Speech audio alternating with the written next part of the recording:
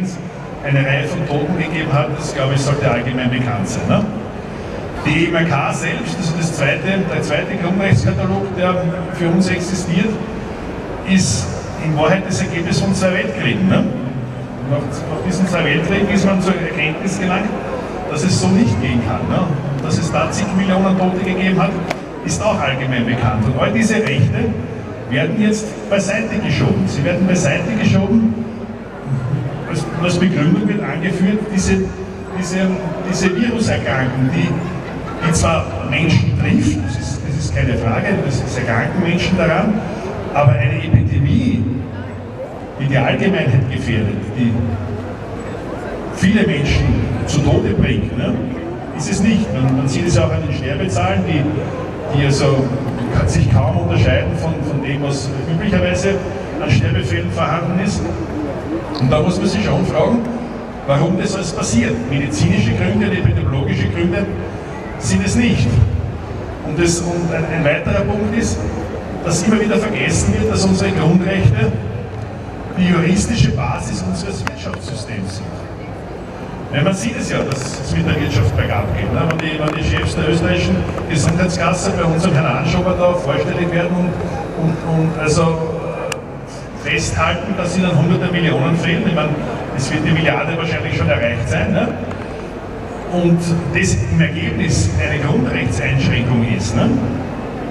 dass, dass, das im Ergebnis, äh, dass das Ergebnis der Grundrechtseinschränkungen ist, dann sollte man sich vielleicht überlegen, dass Grundrechte eine große wirtschaftliche Bedeutung haben in unserem Gesellschaftssystem. Und wenn man das auch vergleicht, also grundrechtsgeprägte Gesellschaften und unsere Gesellschaft, wie unsere Gesellschaft und Gesellschaften, die halt nicht so grundrechtsgeprägt sind, dann steigen die Gesellschaften, die grundrechtsgeprägt sind, wirtschaftlich immer um einiges besser aus, als die, die diese Grundrechte nicht haben. Man, es ist ja irgendwie auch klar, ne? wenn, jemand den Freiraum besitzt, zu wirtschaften, sich beruflich zu entfalten, leistet er mehr ne? als derjenige, der halt irgendwie gegängelt wird, ne? der, halt, der halt von irgendjemand durchs Leben geleitet wird, wenn man das einmal so. Ne? Der wird dann weniger leisten, der wird weniger wirtschaften und dann wird es uns allen schlechter gehen. Ne? Und das ist halt leider so. Ne? Jetzt, man sieht es ja, man sieht es ja äh, ziemlich, ziemlich also klar und deutlich, ne? dass das mit der Wirtschaft bergab geht und es braucht keiner glauben, dass das auf das Gesundheitssystem keinen Einfluss hat. Also das, es wird Einschränkungen geben, es wird Einschränkungen geben müssen, weil das, weil das Geld einfach nicht mehr vorhanden ist. Das, das ist einfach eine Tatsache. Und da ja, werden wir uns ein bisschen bescheiden müssen. Und dann dieses Argument, ne, dass, die, dass die Gesundheit das Wichtigste ist und, und, das, und das ja, und, und die Gesundheit steht über allem ja, und, und so weiter und so fort. Ja, das ist halt, wissen Sie, ich sage halt immer, man muss aufpassen, weil ein Mensch mit Nonarargumenten argumentiert. Ne. Das ist, diese Nonarargumente sind meistens ein Zeichen dafür, dass Unsinn geredet wird. Ne? Ja, sicherlich ist die, ist die Gesundheit wichtig. Ne? Sicherlich ist die Gesundheit wichtig, aber man muss sich halt schon einmal fragen, warum gibt es kein Grundrecht auf Gesundheit oder was auch immer, wie man das dann, dann so formuliert. Warum, warum gibt es das nicht? Ne? Weil, weil das ein Grundrecht nicht leisten kann. Ne? Ich, kann ein Grund, ich kann grundrechtlich die Gesundheit nicht, nicht geltend machen. Was, was soll ein Richter da sagen, wenn ich jetzt sage, ich bin krank und klage jetzt mein Recht auf Gesundheit ein? Dann kann er sagen, geh zum Arzt und wünsche gute Besserung. Also, er, er kann auch nicht mehr tun als, als ein, als ein als ein Normalbürger. Aber, aber Grundrechte können eben bewirken, dass es uns allen besser geht, dass wir mehr erwirtschaften, dass dann ein Teil dieses Erwirtschafteten ins Gesundheitssystem geht und dann wir eben einen Arzt haben, ein Krankenhaus, wenn wir das brauchen. Nur das ist jetzt zunehmend in Gefahr.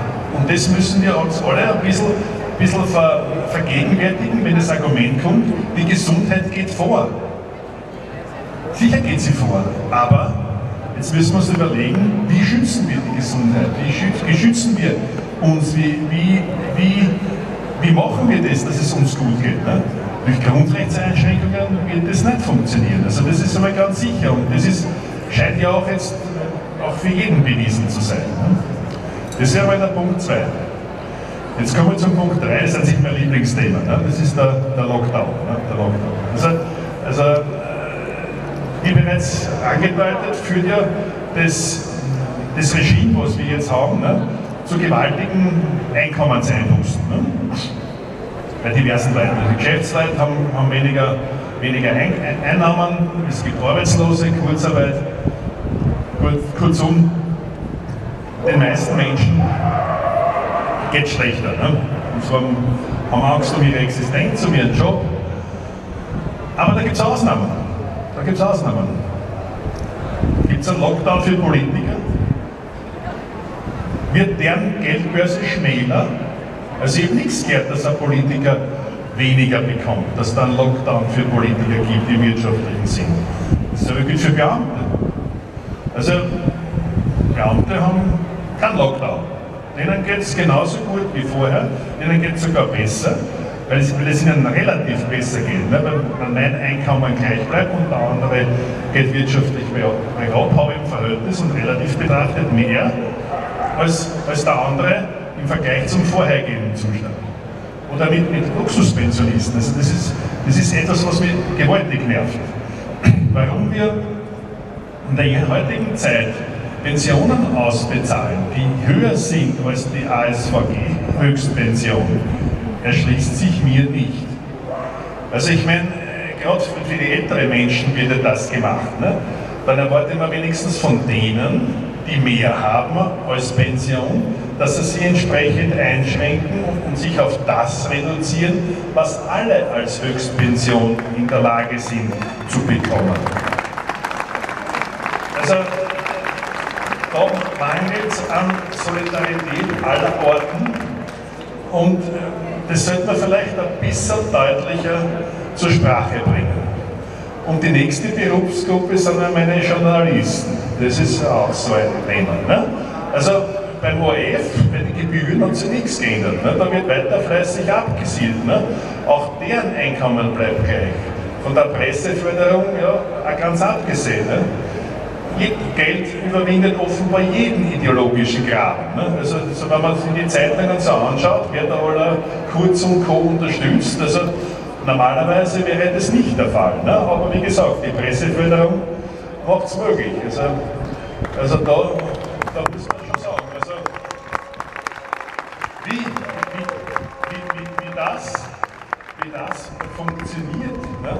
Also, Geld ist die einzige Erklärung hierfür. Das war Punkt 3. Jetzt kommen wir zum Punkt 4. Das ist etwas, was vielleicht ein bisschen neu ist. Es geht um unsere Ärzte. Äh, die Ärztekammer ist ja sehr aktiv bei, Ärzten, die halt versuchen, ähm, die Fakten korrekter darzustellen, also korrekt darzustellen und sich von, in ihrer Meinungsäußerung von der Regierungslinie unterscheiden. Ne?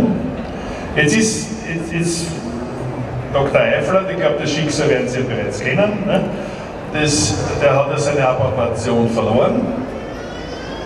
Und jetzt muss man sich fragen, wann kann ein Arzt seine Approbation verlieren? Wie geht, wie geht das überhaupt? Welche Pflichten hat ein Arzt? Was muss er tun? Wie muss er die Pflichten verletzen, um diese Befugnis zu verlieren, als Arzt tätig zu sein? Ne?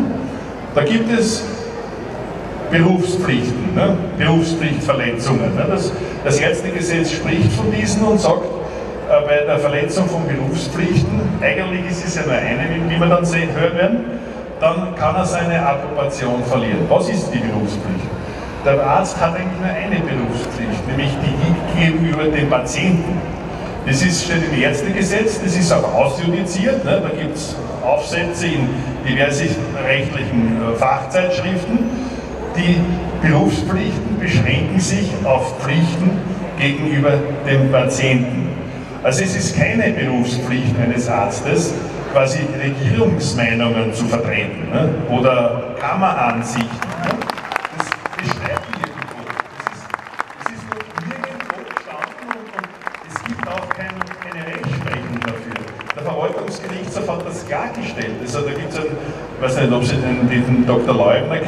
Gibt es eine Entscheidung, der hat seine ähm, Suspendierung oder seine, seine Entscheidung über den Verlust der Approbation aufgehoben, genau mit dieser Argumentation. Also wenn ein Arzt eine, einen, einen Fachaufsatz veröffentlicht, eine wissenschaftliche Publikation veröffentlicht, die beispielsweise der Pharmaindustrie nicht gefallen, ne? sagen wir mal so, ne? Oder der Regierung nicht gefällt oder der Kammer nicht gefällt, ne?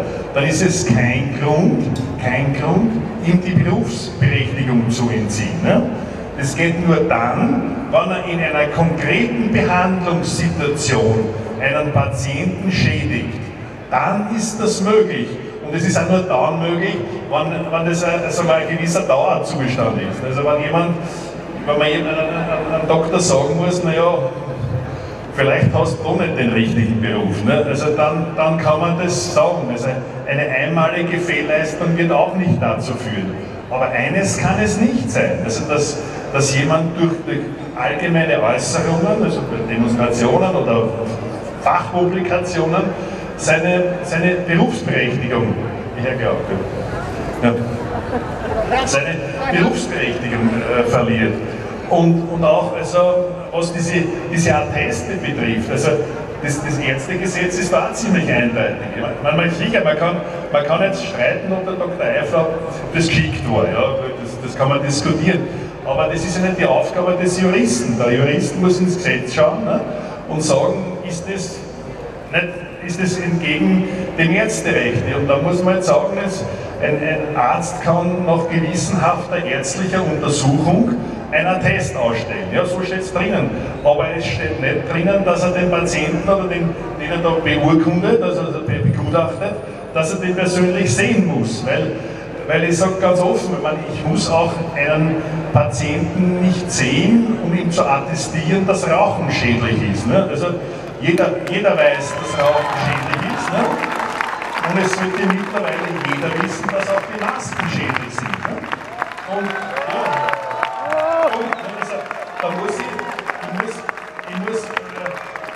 CO2-Messung ne, unter der Maske nicht quasi am Patienten persönlich durchführen. Das mache ich einmal, dann nehme ich mal irgendwen, ne, misst es und das war's. Ne, und damit weiß ich Bescheid. So, ich hoffe, es war informativ genug. Ja? Ich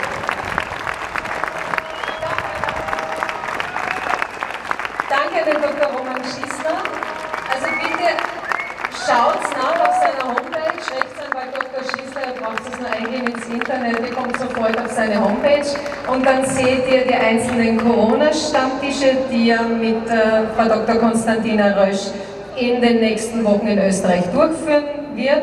Also bitte meldet euch an und wenn ihr übrigens Fragen habt, es wird im Anschluss ans Programm die Möglichkeit geben, an die Redner Fragen zu stellen. Ich habe extra meinen gelben Hut auf, damit ihr mich seht und kommt zu mir, während die Redner herum sind äh, und stellt mir eure Fragen. Ich werde da ein bisschen was zusammenstellen und dann können die beantwortet werden. Danke, Roman.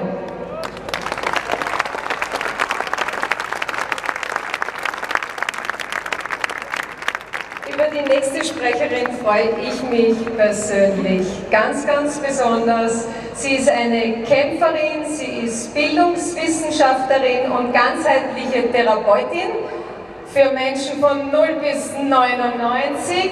Dr. Merit Streicher, ihr Thema ist der Mensch und sie sagt, es gibt einen Exit und der heißt Nein!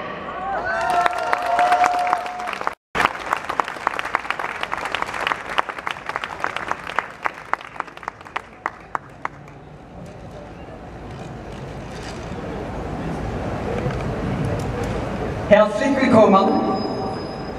Wie immer möchte ich meine Rede eröffnen, indem ich alle anspreche. Liebe Ungeborene, liebe Heranwachsende, liebe Erwachsene bis ins hohe Alter, wir sind mehr als eine Sozialversicherungsnummer. Wir sind mehr als unser IBAN-Code. Wir sind mehr als unsere Passnummer und wir sind mehr als unsere Schulkennzahl. Darauf werde ich dann noch genauer eingehen. Wir haben alle eines gemeinsam. Wir sind Menschen. Wir spüren, wir fühlen und wir denken. Und diese Masken und diese Abstandregeln und diese übersteuerte Hygienevorschrift, sie kränken, sie machen krank. Sie beeinträchtigen die psychosoziale Entwicklung vom Kleinkind an bis ins hohe Alter. Wir entwickeln uns ab dem Austritt aus dem Mutterleib, bis wir in eine andere Lebensform hinübergehen. Und das Erste, was ein Ungeborenes spürt, ist die Berührung durch das Umspültwerden vom Fruchtwasser. Und das Letzte, was ein Mensch spürt, wenn er in eine andere Lebensform geht, ist die Berührung und ein Händedruck. Und keine Maschine und kein Code. Und da, da muss fehlen. Jeder Hinsicht echt, aber auch angreifbar. Nun möchte ich auch ein bisschen anschließen an die tolle Steilvorlage von Herrn Dr. Schüssler, wenn es um die Attest geben. Ich möchte jetzt noch einmal, es liegt auch im Bildungsministerium, nicht Bildungsdirektion, bitte Bildungsministerium, liegt vor, dass ich Magistra bin, das bedeutet Pädagogik, Erziehungswissenschaften, kenne mich besonders gut mit Kindergärten, Schulen und Bildungseinrichtungen aus, nicht nur weil ich sie selber durchlaufen habe, sondern weil ich Lehrerinnen und Kindergärtnerinnen ausgebildet habe. Und ich gedenke es auch wieder zu tun. Und mein Doktorat ist eine Zusammenschau aus Pädagogik, aus Neuropsychiatrie, darum kenne ich mich sehr gut aus mit Konzentrationsstörungen, mit äh, Schädigungen, die durch äh, Sauerstoffmangel entstanden sind und so weiter, aus Neuropsychologie und Tiefenpsychologie. Und deswegen heißt ich nicht nur Bildungswissenschaftlerin, sondern auch ganzheitliche Therapeutin. So, und aufgrund dessen meiner wissenschaftlichen Vorbildung und meiner, meinem Kontakt mit Menschen, mit Kindern, mit Erwachsenen, mit Jugendlichen, mit Menschen einfach, die mir ihre Sorgen und ihre Probleme schildern. Manche persönlich, manche über Telefon, viele auch über E-Mail. Und da geht es nicht darum, dass man bei mir schreibt, Luftnot, fertig, und dann haben wir, und Geburtsdatum und das Attest wird ausgeworfen. Nein, bin nicht so schnell, dauert auch bei mir länger, bin ein Einfrauunternehmer, aber jedes einzelne Attest, das ich ausstelle, ist geprüft und das ist genau das, was ich meinem wissenschaftlichen Eid an der Universität Wien geschworen habe. Ich werde wissenschaftliche Erkenntnisse immer prüfen, immer den Prozess des Fürwahrhaltens unterwerfen und ich werde nie, nie gegen den Menschen arbeiten. Und jetzt halte ich ein. Und jetzt habe ich etwas, ihr werdet ich bin etwas bewegt. Ich habe in den letzten Wochen eine Fülle von Anfeindungen bekommen. Von Anfeindungen von jenen, die ich ausgebildet habe, die, die mit mir im selben Boot, in derselben Lehrveranstaltung gesessen sind, die doch tatsächlich sagen, sie ist kein Wort, also ist das Ganze wertlos. Man kann ein Blatt Papier zerknüllen. Was man aber nicht zerknüllen kann, ist, dass ich das Duplikat bei mir habe. Und nicht am Internet, haptisch ausgedruckt. Und da steht hinten oben, nicht nur die Sozialversicherungsnummer, die interessiert mich nicht, sondern da steht hinten drum, was die Gründe waren. Und für mich ist es Grund genug, wenn eine Mutter mir erzählt, ich will nicht haben, dass mein Kind einen psychischen Schaden hat. Ich will aber nicht haben, dass die Masken tragen, aber wenn ich eine Maskenbefreiungsattest habe, bin ich die Einzige in der Schule und dann wird mein Kind diskriminiert. Oh gut, das ist eine Möglichkeit, aber wir haben auch noch eine andere. Und die andere Möglichkeit ist, erst wenn wir verstehen, warum so viele Menschen schweigen, das versuche ich euch jetzt ein bisschen näher zu bringen. Es wird nicht allzu lang dauern, aber ich möchte ein bisschen auch dahinter schauen. Ja, wir knüllen das wieder auf, weil ein Blatt Papier kann ungültig sein, aber ein Mensch kann niemals ungültig sein. Ein Mensch kann auch niemals illegal sein.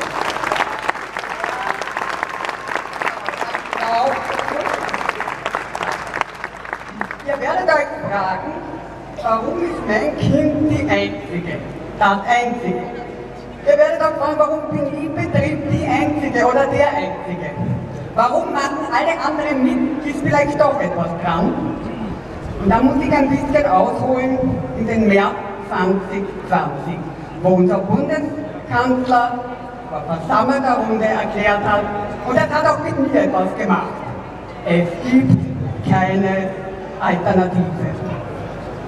Und solange in unseren Köpfen, in unseren Gefühlen, dieses Gefühl, es gibt keine Alternative drinnen ist, werden wir auf diese Alternativlosigkeit reagieren.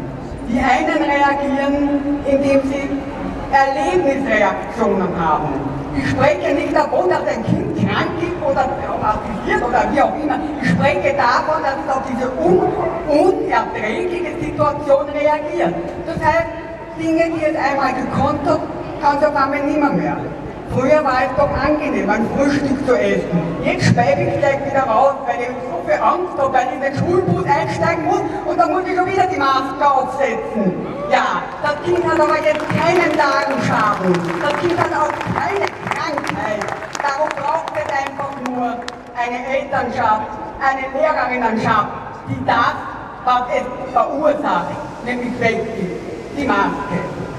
Und da möchte ich noch etwas sagen zu den Atellen. Die sind alle gültig und noch einmal, die basieren auf den konkreten Schilderungen, die ich wahrgenommen habe, wenn die Leute meine Praxis aufsuchen oder wenn sie mir ihre Geschichten erzählen und schreiben. Jene Menschen, die zusehen, haben auch Erlebnisreaktionen. Vor allem die, die sagen, es schadet uns überhaupt nicht. Die fünf Minuten zum aufs Klo gehen, schaffe ich schon. Ja, beim Klo gehen, das Schnee runternehmen. Gut so, freut mich. Wir können maskenfrei und unser Geschäft erledigen. Nur, alleine die Tatsache, dass diese Menschen sagen, das halten wir schon aus, das ist kein Problem, da müssen wir durch, zeigt, dass das ihre Sorgen ist, sich damit zu identifizieren. Und jetzt ein bisschen ein Ausblick, was Menschen machen, wenn sie in ausweglosen Situationen sind. Und wir haben alle möglicherweise das Virus in uns. Also müssen wir uns mit jeder identifizieren, dieses Virus von uns wegbringen wollen. Also haben wir Lust, Dankbarkeit, Demut an den Zwangsmaßnahmen. Und solange, solange den Menschen nicht klar ist, dass sie sich nicht fürchten brauchen, dass es einfach nur darum geht, ein kollektives Nein zu sagen. Viele Menschen sitzen in der Besuchergalerie und sagen, na schau, der Äppler hat es nicht gebracht, die Streicher schon gar nicht, die ist nicht einmal ein Ort, hm, habt ihr ja von Anfang an gesagt. Ich fordere diese Eltern auf, endlich aufzusagen, ihr braucht kein Appell. Ihr solltet euch einfach mit jenen, die einfach früher als ihr reagiert haben, solidarisieren. Und dann steht die gesamte Elternschaft auf und sagt, liebe Lehrerinnen, wir wollen unsere Bildung zurück. Unserer Bildungsprotagonistinnen vom Kindergarten angefangen bis zur Universität ist, Bildung zu vermitteln und zu ermächtigen und nicht zu demütigen und nicht die Angstspirale weiter zu drehen. Und ich glaube, es geht, es geht nur, es geht nur darum, dass wir Menschen, die einfach sagen, ich halte schon auf, sich einfach darauf besinnen, was wir aushalten, ist einfach die Herausforderungen, die das Leben bringt. Und das ist nicht Demütigung auszuhalten. Das haben wir nicht nötig und das werden wir auch nicht zulassen und das werden wir auch wirklich nicht hinnehmen. Und ich möchte noch einmal an die Lehrerinnen und an die Kindergärtnerinnen appellieren. Diese Form der sogenannten Zwangserziehung, Masken tragen, Abstand halten, übersteuerte Hygienevorschrift, beeinträchtigt ihre Bildungsarbeit. Sie verlieren das Ansehen vor den Eltern, vor ihren anvertrauten Kindern und Jugendlichen. Sie brauchen nicht das Ansehen von irgendwelchen selbsternannten Direktoren. Sie brauchen das Ansehen jener, die ihnen anvertraut sind, damit sie an unserem gesellschaftlichen Prozess teilhaben können. Das fängt an im Kindergarten. Es wird nicht mit Maske gesungen, es wird nicht mit Maske gesungen. Das brauchen wir nicht. Und diese, äh, diese symbolische Kraft von Masken hat sogar ich weiß nicht, irgendein Minister, es ist jeder auch egal, irgendeiner hat gesagt, im Wesentlichen geht es ja um die symbolische Kraft, damit wir uns immer bewusst sind, dass wir das tödliche Virus in uns haben. Meine Lieben, das ist Erziehung, das ist glasklare schwarze Pädagogik. Schwarze Pädagogik, das ist bitte nicht, das ist nicht ideologisch gemeint, sondern das ist eine Pädagogik, die letztendlich endlich darauf abzielt, Menschen klein zu halten, aber nicht mit Schlägen, aber auch nicht mit, mit bewusster Maßregelung, sondern einfach mit einem Maskengesicht, ohne Regung und immer das Stereotype wiederholen, es ist Vorschrift. Gar nichts ist Vorschrift. Schwarze Pädagogik zielt ab, Menschen klein zu halten und schwarze Pädagogik zielt ab, mit der Angst Menschen gefügig zu machen. Und ich habe auch, nicht nur weil ich hier große Töne tröte, ich habe genau das auch an das Bildungsministerium geschrieben. Ich habe gesagt, was immer der Plan dahinter ist. Wenn wir so weitermachen, haben wir 2021 und die folgenden Jahre gebeugte Menschen, die nur noch auf das Smartphone starren und auf ihren, Befehl warten. Und dann werdet auch ihr als Regenten überflüssig werden. Wenn das euer Ziel ist, dann nehme ich sofort meinen Hut und beende das Ganze. Also die sind informiert, so ist es nicht. Ich bin keine wild gewordene, mit kruden Gedanken über der Teste aussteht, sondern das ist evidenzbasiert und mitmenschlich. Und abschließend, ich bin nicht die Retterin der Nation. Bin auch nicht die Mutter Teresa. Ich schaue ja nicht einmal im geringsten ähnlich. Aber ich bitte, dass jene Kolleginnen, die auch therapeutisch arbeiten, und jene Ärztinnen, mich gefälligst nicht untergraben, wenn sie mich schon nicht unterstützen wollen. Und in diesem Sinne möchte ich abschließen, weil ich das immer so mache, eine Frau zitieren, eine Frau, die von einer ganz anderen Branche kommt und die ich ein bisschen abändere, weil ich manchmal Dinge auch gerne anders sehe.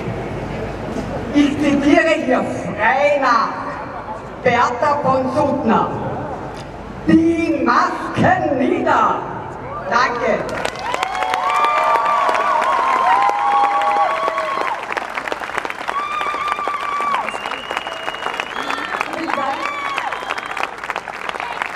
Eine starke Frau, die euch zu einem Nein aufmuntert.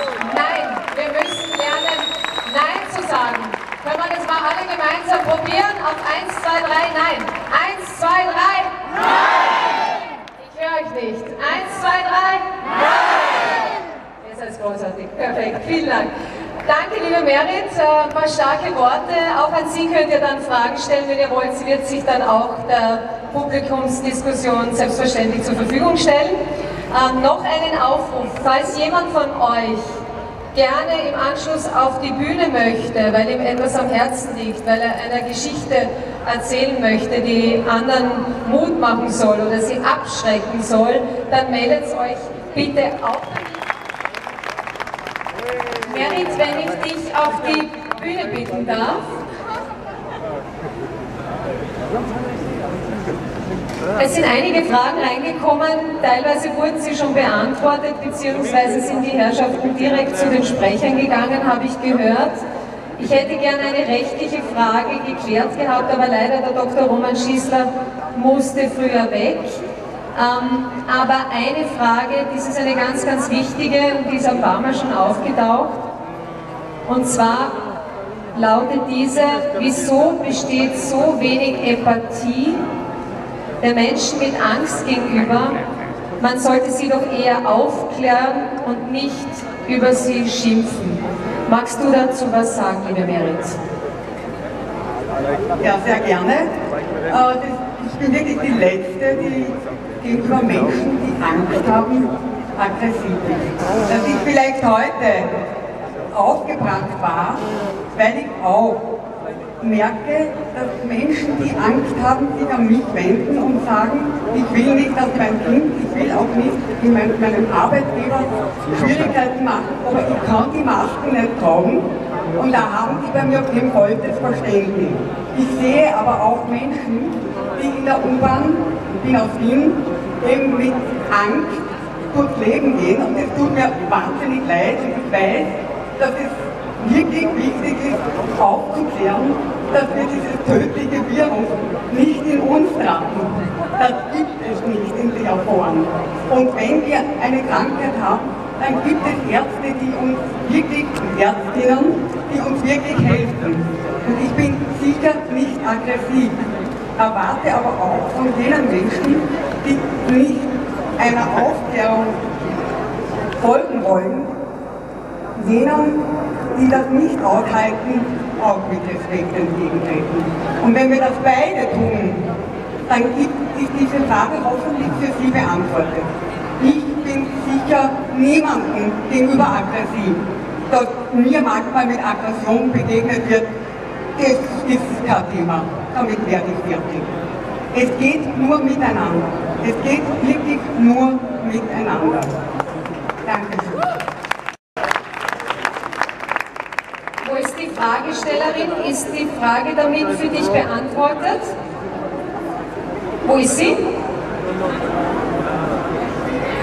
Vielleicht gar nicht mehr da, vielleicht schon abgereist. Ich möchte gern auch was dazu sagen, weil mir das selber hin und wieder passiert in meiner Ungeduld, dass ich Menschen gegenüber, die Angst haben, egal ob es jetzt Angst ist vor dem Virus oder Angst ausgeschlossen zu werden, den Job zu verlieren, angepöbelt zu werden im Geschäft, oder was auch immer, dass es auch mir nicht immer gelingt, in der Liebe zu bleiben und im Verständnis zu sein. Und man muss sich, glaube ich, selbst an der Nase nehmen. Wir sind nicht gescheiter oder besser, wir sind alle eine Menschheitsfamilie, wir sind alle unterschiedlich und äh, wir dürfen in Liebe und Sorgsamkeit miteinander umgehen. Ähm, ich glaube, das ist wirklich ein guter, guter Aufruf, die Menschen so zu nehmen, wie sie sind, sie dort abzuholen, wo sie sind, ihnen die Möglichkeit zu geben, Fragen zu stellen und ihnen nicht unbedingt mit Brachialgewalt ins Gesicht zu fahren. Da bin ich auch dafür. So, es gab noch eine Stimme, eine Dame wollte noch, bevor die nächste Sprecherin kommen wird, einen kleinen musikalischen Schlenker. Der liebe Hubert, Schuhgröße 42, kommt auf die Bühne, ganze 1,85 groß und er wird uns ein Stanzel spielen mit seiner steirischen Knopfharmonika. Applaus für Hubert.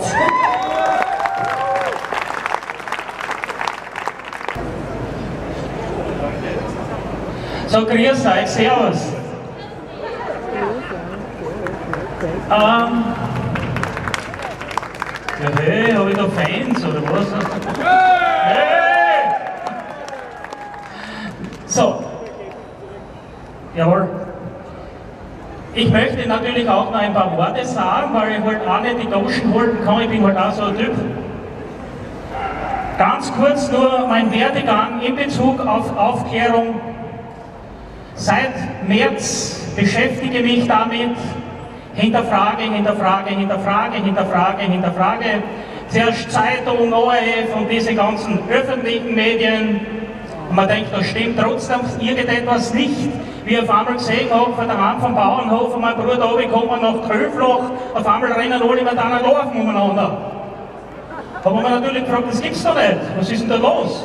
Okay, Internet eingegangen, nachgeforscht, nachgeforscht, nachgeforscht und habe ich gesehen, ein Bundesgesetzblatt. Das kennt wahrscheinlich hier alle eh. Dann habe ich drinnen gesehen im März, dass da eine Ausnahmeregelung ist. Und zwar, dass man unter bestimmten Umständen diese Maske, ich sage immer Laufen, ich, ich rede äh, nicht tragen muss, wenn man persönliche gesundheitliche Bedenken hat oder aus sonstigen Gründen. Man denkt, ja super, dann, die wissen das aber nicht alle, wo man denkt. Ne? So, jetzt bin ich da nach Graz hergefahren, aber ich gar nicht gewusst, dass es schon Demos gibt. Und äh, habe ich mich da hergestellt und heute ist eigentlich eine Premiere, ein bisschen für mich, habe ich mich da hergestellt und habe das Bundesgesetzblatt gehabt und eine Tafel mit Protest. Und man denkt, jetzt wart ihr mal. Ich wart. Und wart. Ja, auf einmal kommen Leute daher und sagen, was stresst du da umeinander? Was tust du da? Habe ich gesagt, naja, schau her. Ich stehe nämlich da in Bezug auf dieses Bundesgesetzblatt, Inhalt und in Bezug auf freie Meinungsäußerung. Ja, und was willst du jetzt da? Dann habe ich Ihnen das gesagt, dass es in Bezug auf Masken eine Ausnahme gibt. Und ich habe wirklich gesehen in den Augen, in den meisten ist Ihnen das von, von gefallen. So, große Rede, kurzer Sinn. Seitdem bin ich jeden Tag unterwegs, auch ein bisschen aufzuklären, zu versuchen. So, wenn ich da jetzt so oben schaue, wenn ich da jetzt so oben schaue, ihr seid ja auch schon mehr oder weniger oder ganz äh, nicht aufgekehrt, sondern ihr wisst, was los ist, oder? Ja! Und ich bin mir sicher, habt ihr in einem privaten Bereich auch versucht, den Nachbarn oder so ein bisschen eine Information zu geben, oder? Ja! So hat es doch nicht tolle Geschehnisse oder Vorkommnisse ge gegeben, oft gute, auch oft nicht so gute, oder? Genau. So mir ist es auch so gegangen. Aber lange Rede, kurzer Sinn. Ich möchte jetzt ein Stück spielen für euch als Dankeschön, aber besonders auch eine Ehre für mich, für die Frau Doktor. Weißt? Weil sie steht auch, sie steht auch, für uns auch und für die Idee.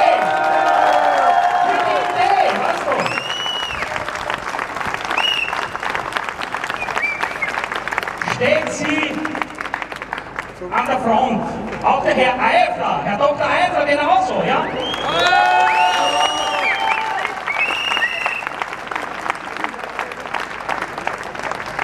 Eigentlich habe ich heute eine Überraschung machen. Ich habe gehört, Sie wünschen den Radetzky-Marsch, gell? Ja, super! Jetzt haben wir gestern die Noten erst kommen lassen, bis der Deppert nicht leicht. Drum, das nächste Mal, versprochen, gell, zwei Jahre habe ich es fertig, äh, spüre ich halt jetzt für die Oberkreiner ein Stück. Und es wäre ganz toll, wenn man bei Sie als nächstes herkommt, auch zu sprechen. Und für euch, und für uns alle, und für die Zukunft. Es kommt eine sehr schöne Zukunft, glaubst du das? Sehr schöne Zukunft. Aber da müssen wir noch mit durchgehen. Laut meinen Recherchen. Die werden alle zur Verantwortung gezogen, weltweit. Glaubst du das? Ja! So. Und jetzt wäre es toll, wenn sie Wenn sie mitklatscht einfach als Begrüßung für Sie, den Eifer und für uns alle, dass wir heute los sind. Okay? Danke.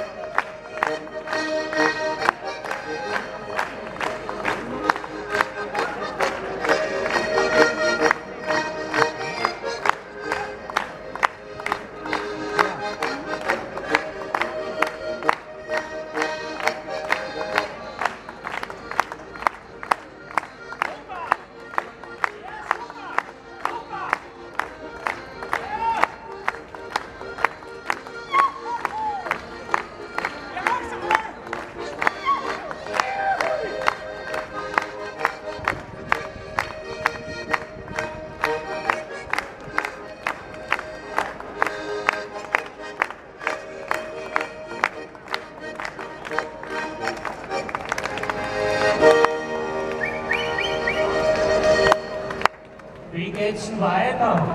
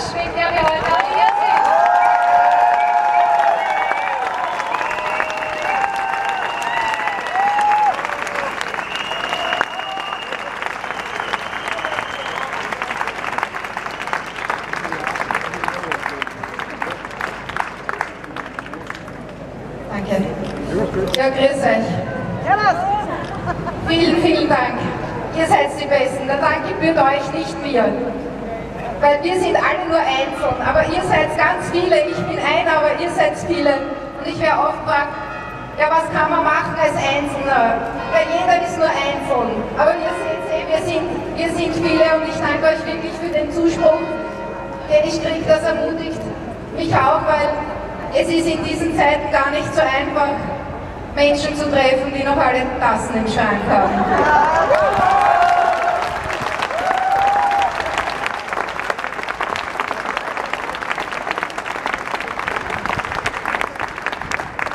Aber ich möchte jetzt auch noch Grüße an den Per Eifler, der in der Obersteiermark ist, entbieten. Ich habe vor ein Tag, paar Tagen mit ihm telefoniert. Also er hat es nicht geschafft zu kommen, weil er ganz viel um die Ohren hat. Aber wir grüßen dich, Per, und wir sind in Gedanken auch bei dir, weil was da passiert ist eine Sauerei und du bist total stark und gefestigt. Aber ich habe gesehen, wie dir das angegangen ist. Aber wir stehen alle hinter dir und wenn du was brauchst, ich bin mir sicher, jeder Einzelne da, da kannst du hinkommen und wir lassen dich auf gar keinen Fall im Stich.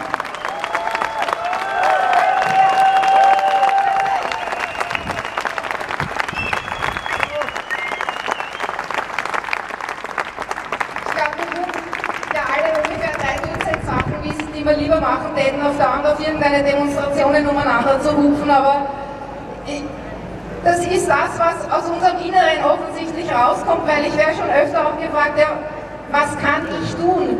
Und dann sage ich immer, ja, ich weiß nicht. Ich mache das, was aus mir rauskommt. Und ich glaube, wenn jeder das irgendwie so in ist und raus will, dann sind wir schon einen ganz großen Schritt weiter. Ja, heute ist schon viel über die Masken gesprochen worden, aber ich möchte jetzt auch über die Masken sprechen, also wollen, Nolens, Wohlens. Liebe oder nicht, liebe Maskenträger, ihr seid das Problem, mit Verlaub.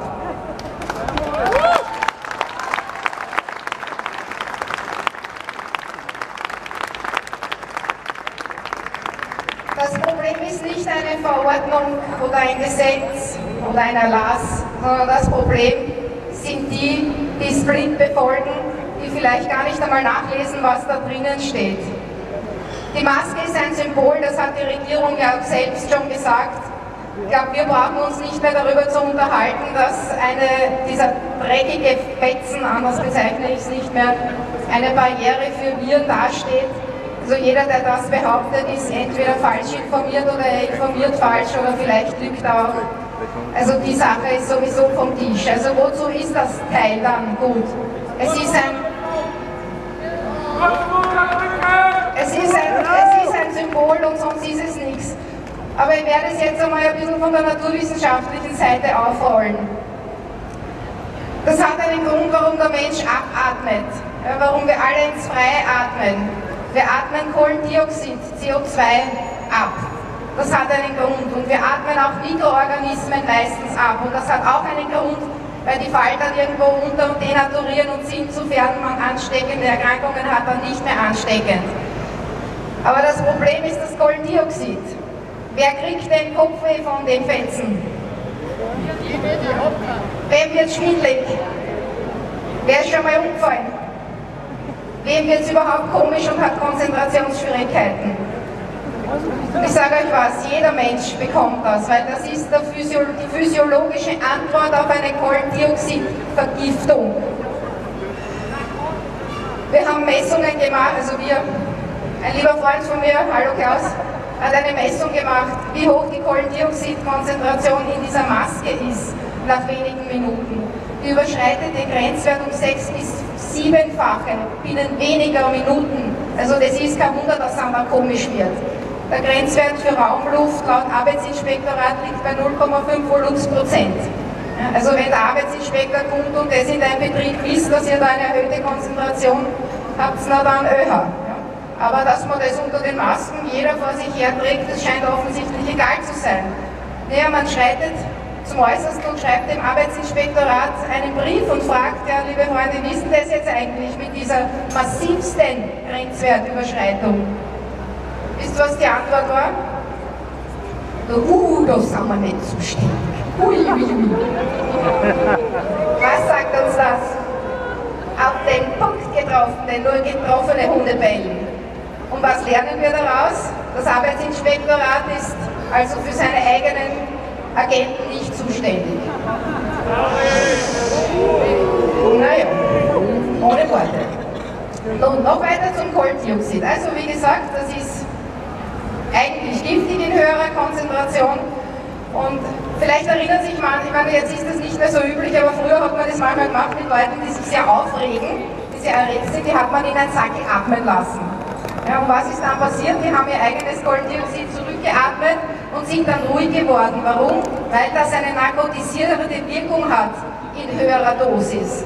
Jede Ärztin, jeder Arzt, alle, die im medizinischen Bereich oder auch im naturwissenschaftlichen Bereich im weiteren Sinne tätig sind, sind, er weiß, was Hyperkapnie heißt, er weiß, was CO2-Narkose heißt. Und genau das ist es, was permanent passiert, wenn man diese Masken aufhat. Erwachsene werden dadurch schon geschädigt, aber jetzt frage ich euch, was ist mit den Kindern? Herr Fassmann, wollen Sie sich nicht einmal vor eine Schule stellen und das Ganze dann erläutern, wie das ist mit dem Kohlendioxid? Und ich frage euch auch, ihr Eltern, warum lasst ihr die Kinder die Masken tragen? Diese Kinder werden geschädigt auf Dauer, neurogen geschädigt durch dieses Kohlendioxid und das ist ein Verbrechen und das ist noch nichts zu entschuldigen und das ist auch nicht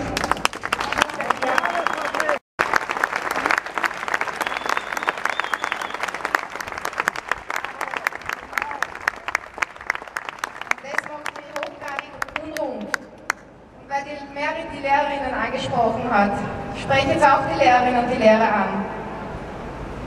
Es gibt tatsächlich Lehrerinnen und Lehrer, die Angst vor Kindern haben, neuerdings. Wisst ihr was? Seid im falschen Beruf. Auf Wiederschauen.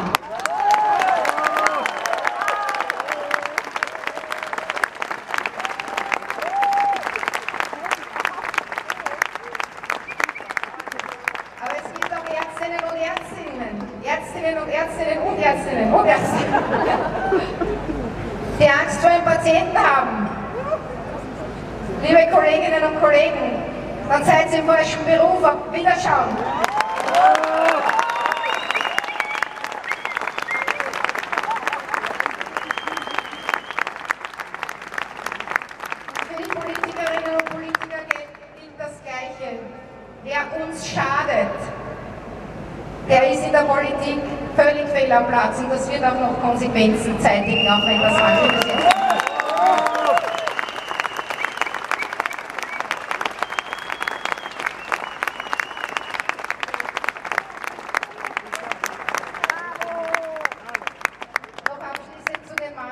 Also Mikroorganismen ein und aus und wenn man das in diesen Plastikfetzen einatmet, hat man eine Brutstätte für Keime, genau vor Mund und Nase.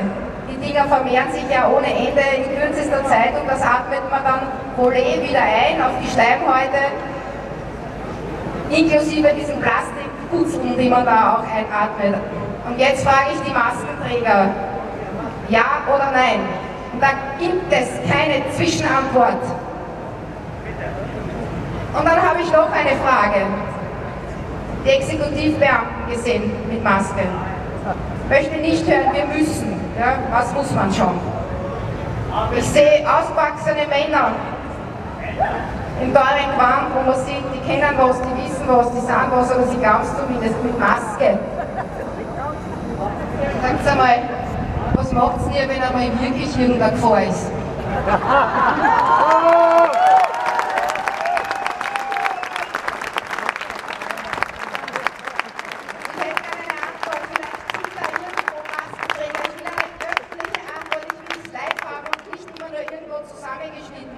Was tut ihr mit euren Masken? Die hilft gegen nichts. Ja.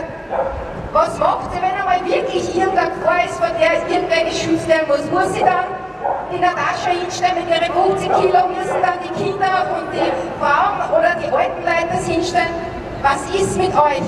Wo ist denn euer Mut? Und ich höre immer wieder,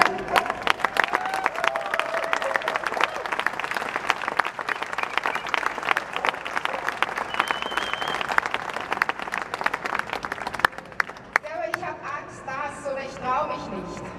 Wir alle haben Gedankenhunde, ja, die vorgaloppieren und die sich überlegen, ja, was könnte denn sein, wenn ich das und das mache. Diese Gedankenhunde mit den Namen Angst und trau mich nicht, die bleiben jetzt einmal am Platz und die gehen, die preschen nicht nach vor. Weil, liebe Freundinnen und Freunde, wir stehen alle mit dem Rücken zur Wand. Alle 9 Millionen Österreicher und das gilt für die Regierungsriege genauso wie für uns alle. Da ist kein Millimeter mehr Platz. Ja, wie weh muss es denn noch tun? Wie viele Arbeitslose wollen wir denn noch haben? Wie viele Leute mit den Masken umkippen wollen wir denn noch haben? Wie viele Leute in Angst und Schrecken wollen wir denn noch haben? Und eine Politik, die Angst macht, das ist das Widerwärtigste, das es gibt und das hat es in der Zweiten Republik auch nicht gegeben.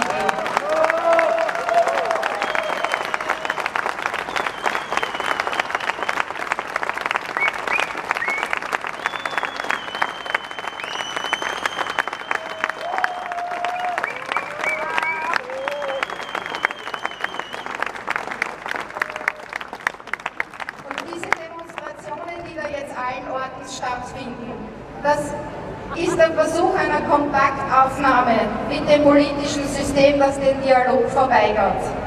Wo sind denn die Politikerinnen und Politiker? Und ich fordere jetzt zum wiederholten Mal auf, stellt euch einer öffentlichen Debatte, das wird live gestreamt und das geht durchs Netz. Und da gibt es keinen doppelten Boden, da gibt es keine Inszenierung, da gibt es nur live Rede und Antwort. Und ich höre so viele grausliche Geschichten, vor allem aus den Schulen auch, wie die Kinder drangsaliert und fast möchte ich schon sagen terrorisiert werden. Und die Leute wenden sich an uns und sagen, bitte hilf mir, was, was kann ich tun? Herr Passmann, Herr Passmann, hören Sie mich? Stellen Sie sich doch einmal vor so eine Schule oder in eine Schule und sprechen Sie mit den Eltern. Und dann stellen, stehen Sie Rede und Antwort, ob das in Ordnung ist, dass Kinder terrorisiert werden, dass alle in Angst und Schrecken versetzt werden, dass die Kinder mit den Masken geschädigt werden, dass die mehr entschuldigen wollen, dass die Eltern verzweifelt sind, dass sie die Lehrer vor völlig ominösen Dingen fürchten. Herr Passmann, Sie sind verantwortlich dafür. Jetzt stellen Sie sich dort einmal hin.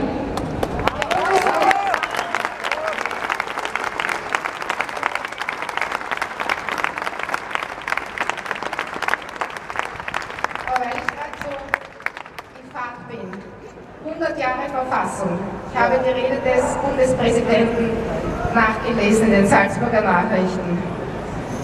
Herr van der Bellen, die nötigen Einschränkungen im Zuge der Corona-Pandemie waren leider eine Zumutung. Ja, da sind schon ein paar Fälle in dem Satz, Herr van der Bellen. Diese Einschränkungen waren nicht nötig. Sie waren sogar verfassungswidrig.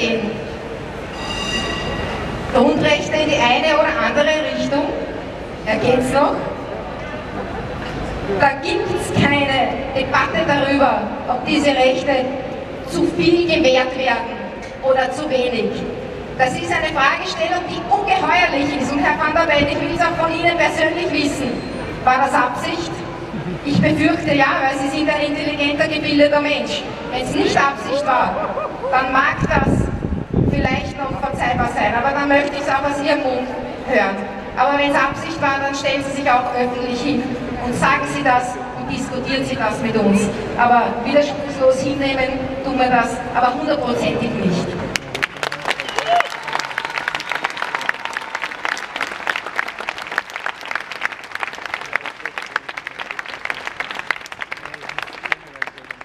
Wenn ich das Wort Gesundheit höre, dann wäre ich sowieso schon gleich einmal ganz unruhig, weil es gibt kein Recht auf Gesundheit. Normalerweise entlohnt man seine Domäne, über die man spricht. Weil wenn man krank, ein Recht ist immer einforderbar. Also wenn man jetzt krank ist, bei wem fordert man dann sein Recht auf Gesundheit ein? Also das gibt es nicht. Es gibt aber sehr wohl ein Recht auf eine ärztliche Versorgung. Das gibt es sehr wohl. Gesundheit besteht im Übrigen nicht aus einem Wort, das eine Blase ist, die über uns alle drüber gestülpt wird, weil ich kann euch garantieren, keiner von euch, kein einziger da, ist und kein einziger ist ganz krank. Aber das ist auch überhaupt nicht so wichtig. Weil es gibt ja auch noch sowas wie eine Lebensqualität. Und die Lebensqualität und die, äh, die stetige Erhöhung der durchschnittlichen Lebenserwartung in den industrialisierten Ländern in den letzten Jahrzehnten, die ist nicht deshalb gekommen, weil wir ein Arbeitsverbot hatten, weil wir die Kinder drangsaliert haben, weil wir uns einen Maulkorb aufgesetzt haben, weil wir uns alle eingesperrt haben und Angst gehabt haben. Nein, das ist durch eine vernünftige gesellschaftspolitische Politik entstanden. Und über das werden wir vielleicht einmal nachdenken.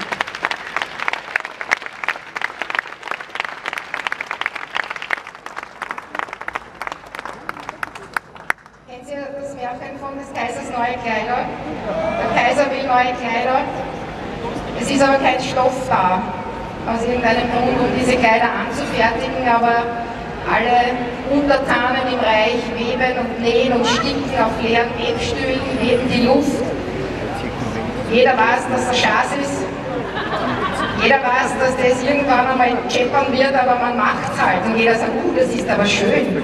Dann wirkt das Kleid so schön der Kaiser schaut das an und sagt, uh, aber das ist wirklich von allerfeinster Qualität. Ja, dann kommt der Tag der Anprobe und der öffentlichen Zurschaustellung.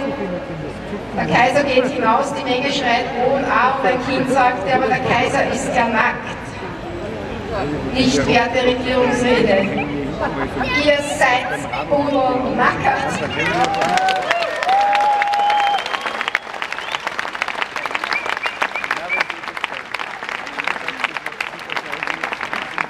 Das Corona-Gewand, das gibt es nicht in dieser Art und Weise. Ihr seid, nehmt doch eure Masken ab und zeigt uns euer wahres Gesicht. Wir kennen es eh schon.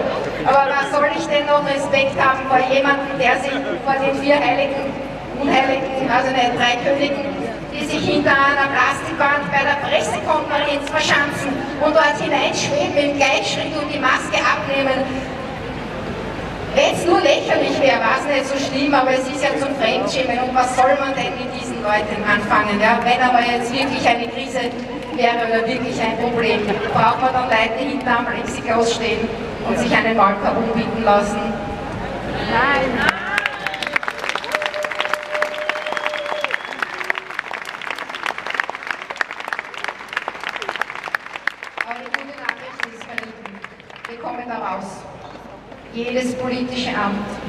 Jede Funktion, jedes Regime, jede Regierung hat einmal ein Ende.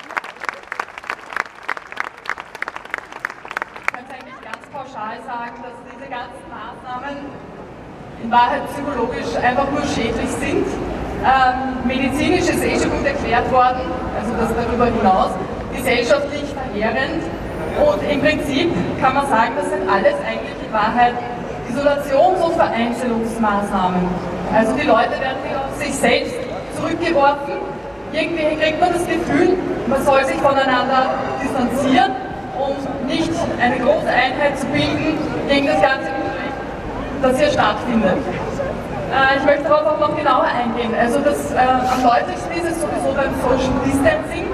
Ähm, wobei ich mich immer noch frage bis heute, warum der Begriff gewählt wurde.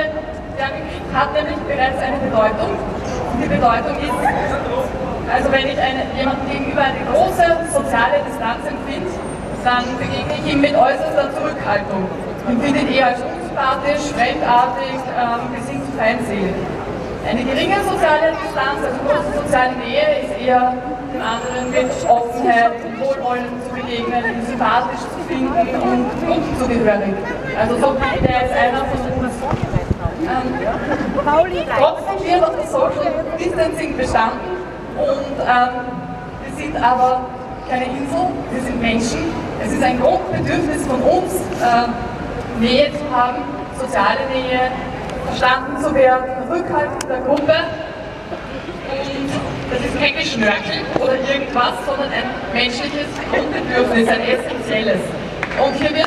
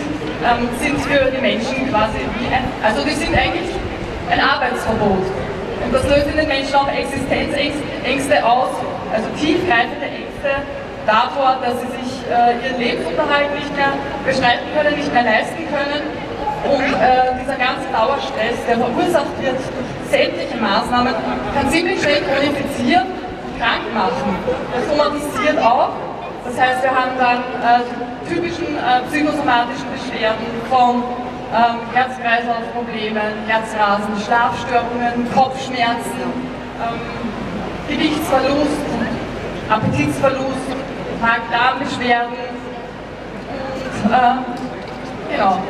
Es supprimiert, es, es schwächt und unterdrückt eigentlich das Immunsystem. Das, was wir brauchen eigentlich, gesund zu bleiben. So, epidemiologisch ist das Ganze eigentlich überhaupt nicht mehr zu rechtfertigen.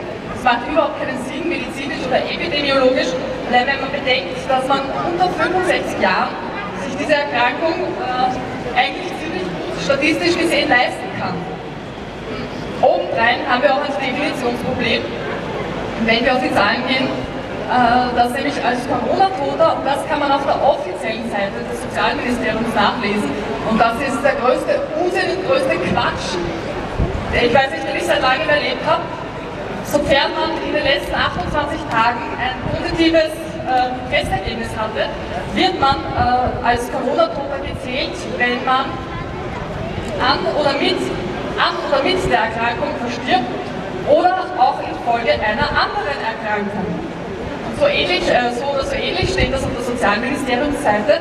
Das heißt, äh, hier werden die Toten massiv überschätzt und auf der anderen Seite wird die Dunkelziffer auch massiv überschätzt, äh, unterschätzt. Das heißt, äh, das Verhältnis, das dann rauskommt, ist ja noch um einiges geringer und das ist so schon äh, bei der Zählweise, die angewendet wird, bei 0,00 irgendwas, also im Bereich einer Grippe. Und ich würde mal sagen, äh, das Hauptproblem ist sowieso, die Politik ist eigentlich in einer Bringschuld. Sie müssen sich erklären, wieso diese Maßnahmen gerechtfertigt sind und nicht wir müssen hier unten herumstreiten,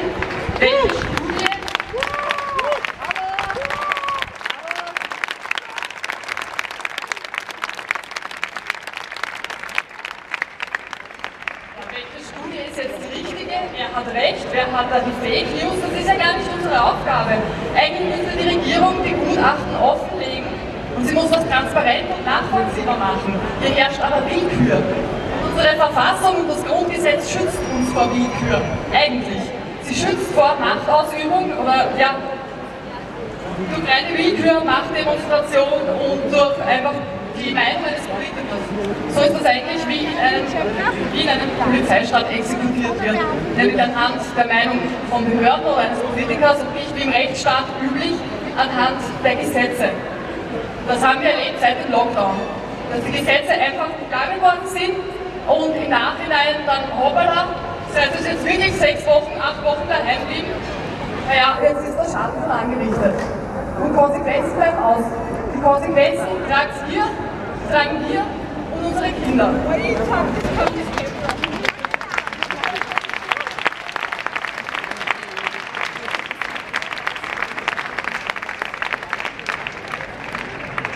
nächste, worauf ich zu sprechen kommen möchte, das sind sowieso also die Rolle der Kinder in dieser Pandemie. Von ihnen wurde eigentlich immer nur gesprochen als Superspreader, oder es wurde lauthals darüber nachgedacht, wie gefährlich Kinder nicht für uns sind. Und sie wurden eigentlich richtig objektifiziert. Und ihnen werden Masken aufgezwungen. Ähm, Im Prinzip ist das nichts weiter als Nötigung. Und ich möchte auch sagen, dass ich einen Verdacht habe, nämlich dass die Gesetze so schwammig formuliert sind, ähm, steht nämlich äh, darin geschrieben, also in der Covid-19-Lockerungsverordnung, dass man die Masken aus gesundheitlichen Gründen, also dass ausgenommen von der Maskenpflicht Menschen sind, die es aus gesundheitlichen Gründen nicht tragen können. Ein Beleg muss aber nicht erfolgen. Also diese Attestgeschichte, ich weiß nicht, wer sich die ausdacht hat, aber wir leben offenbar in einem Status, in einem ja, Status, wo jeder einfach behauptet, was er will und alle halten sich daran, ohne das zu hinterfragen. Also die meisten. Und es ist jetzt so, diese Verordnung sieht Ausnahmen vor, aus gesundheitlichen Gründen. Und äh, viele versuchen aber diese, dieses Gesetz trotzdem überzuerfüllen, womit sie eigentlich gegen das Gesetz, auf das sie sich berufen, verstoßen.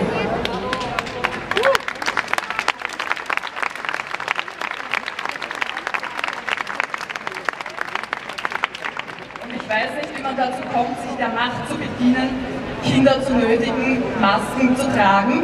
Vor allem ähm, möchte ich da an die Lehrer appellieren und an die Pädagogen. Das sind eigentlich, ähm, das ist eigentlich die einzige Risikogruppe unserer Gesellschaft, die man schützen muss. Das ist die einzige Gruppe, die sich nicht selber wehren kann, nicht selbst für sich sprechen kann. Wir müssen darauf achten,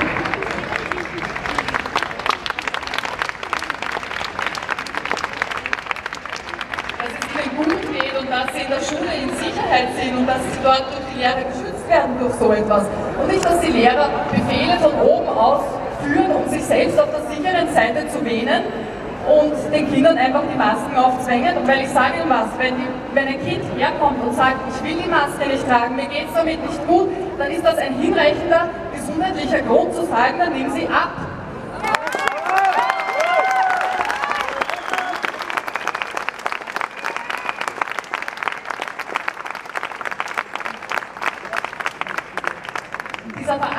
kann sich niemand Sie mal drüber nach, was ist, wenn ein Kind umkippt? Was ist, wenn es einem Kind schlecht geht, wenn es umfällt und, keine Ahnung, auf der Tischkante aufschlägt? Weil ihr nicht, äh, weil ihr euch das einfach nicht traut. Ähm, wer haftet? Ich frage das deshalb, normal ist das eine ethische Frage und keine rechtliche, aber offenbar ist es notwendig. Wer haftet dafür? Wie ist das rechtlich gedeckt überhaupt? Nein, ethisch überhaupt nicht. Darüber braucht man nicht sprechen. Das nächste, was ich sagen möchte. Eigentlich an alle meine Wissenschaftskollegen, an alle äh, Wissenschaftler überhaupt, äh, die ich kennenlernen durfte, meine ehemaligen Kommilitonen. Ähm, wo seid ihr? Ich meine, ihr seid auch, äh, ihr kennt euch auch aus mit Statistik, ihr kennt euch mit den Zahlen, Daten, Fakten aus, ihr braucht eigentlich keinen ORF oder kein Medium, das euch das vorkaut, geht einfach direkt auf die Seite, klopft die Zahlen rein, schaut euch das an das ist nicht zu rechtfertigen. All die, die eigentlich immer die Wand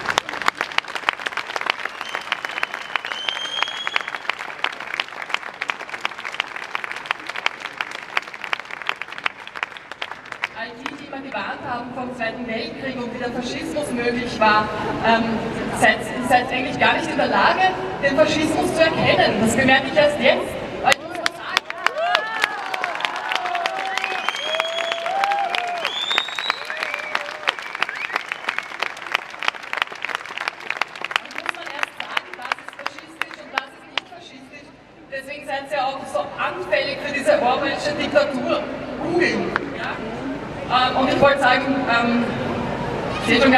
der Faschismus, der Neue wird nicht kommen und sagen, ich bin der Faschismus. Er wird sagen, bleiben Sie gesund.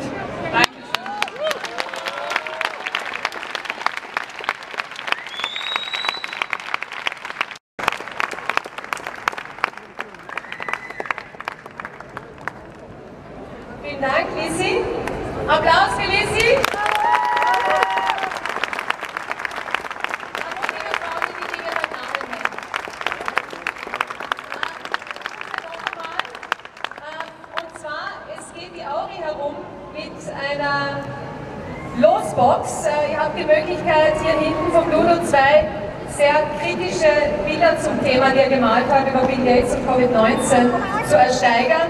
Das Los A 5 Euro. Bitte beteiligt euch, seid so lieb, 5 Euro und äh, 10 Euro noch besser, 20 Euro noch besser, eure Chancen steigen. Wir werden das heute noch verlosen, erster und zweiter Preis, diese beiden Bilder. Und das zweite ist ein persönliches Anliegen. Wir sind leider nicht in der glücklichen Lage, Presseförderungen zu bekommen, irgendwelche Initiationen von der Bundesregierung. Alles, was wir hier auf die Beine stellen, bezahlen wir in erster Linie mal aus der eigenen Tasche. Ob das die Flyer sind, ob das das Kuchenbacken ist, ganz egal. Wir würden euch bitten, die werden rumgehen mit einer kleinen Spendenbox, da ein bisschen was hineinzuwerfen. Ihr würdet die ganze Aktion unterstützen. Vielen Dank dafür.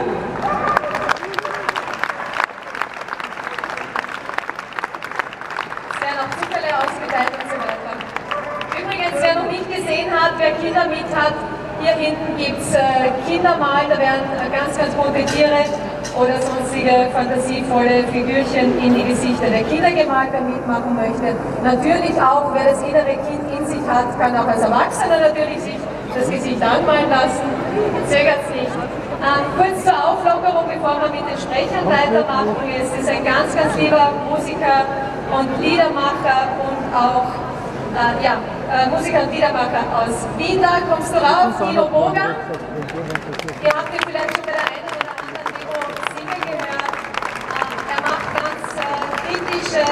Liedertexte zu bekannten Liedern und er wird folgendes Lied zum Besten geben. Fünf Minuten vor zwölf. Ich würde sagen, wir haben locker fünf Minuten nach zwölf. Viel Vergnügen.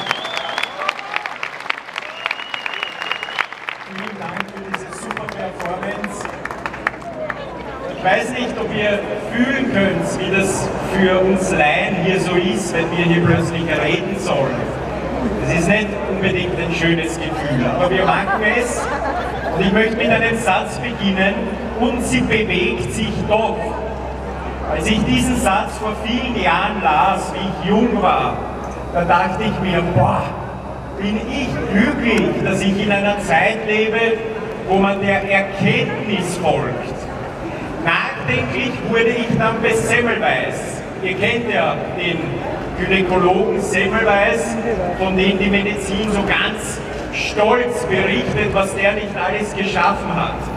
Habt ihr gewusst, dass Semmelweis Zeit seines Lebens angegriffen wurde?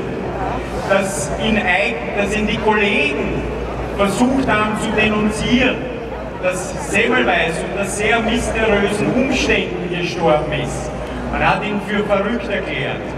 Und erst viele, viele Jahre später hat man seine Beobachtungen zu einer Erkenntnis erhoben. Ich möchte euch hier etwas vorlesen Semmelweis, denn es erinnert mich an etwas, was wir jetzt auch gerade durchmachen.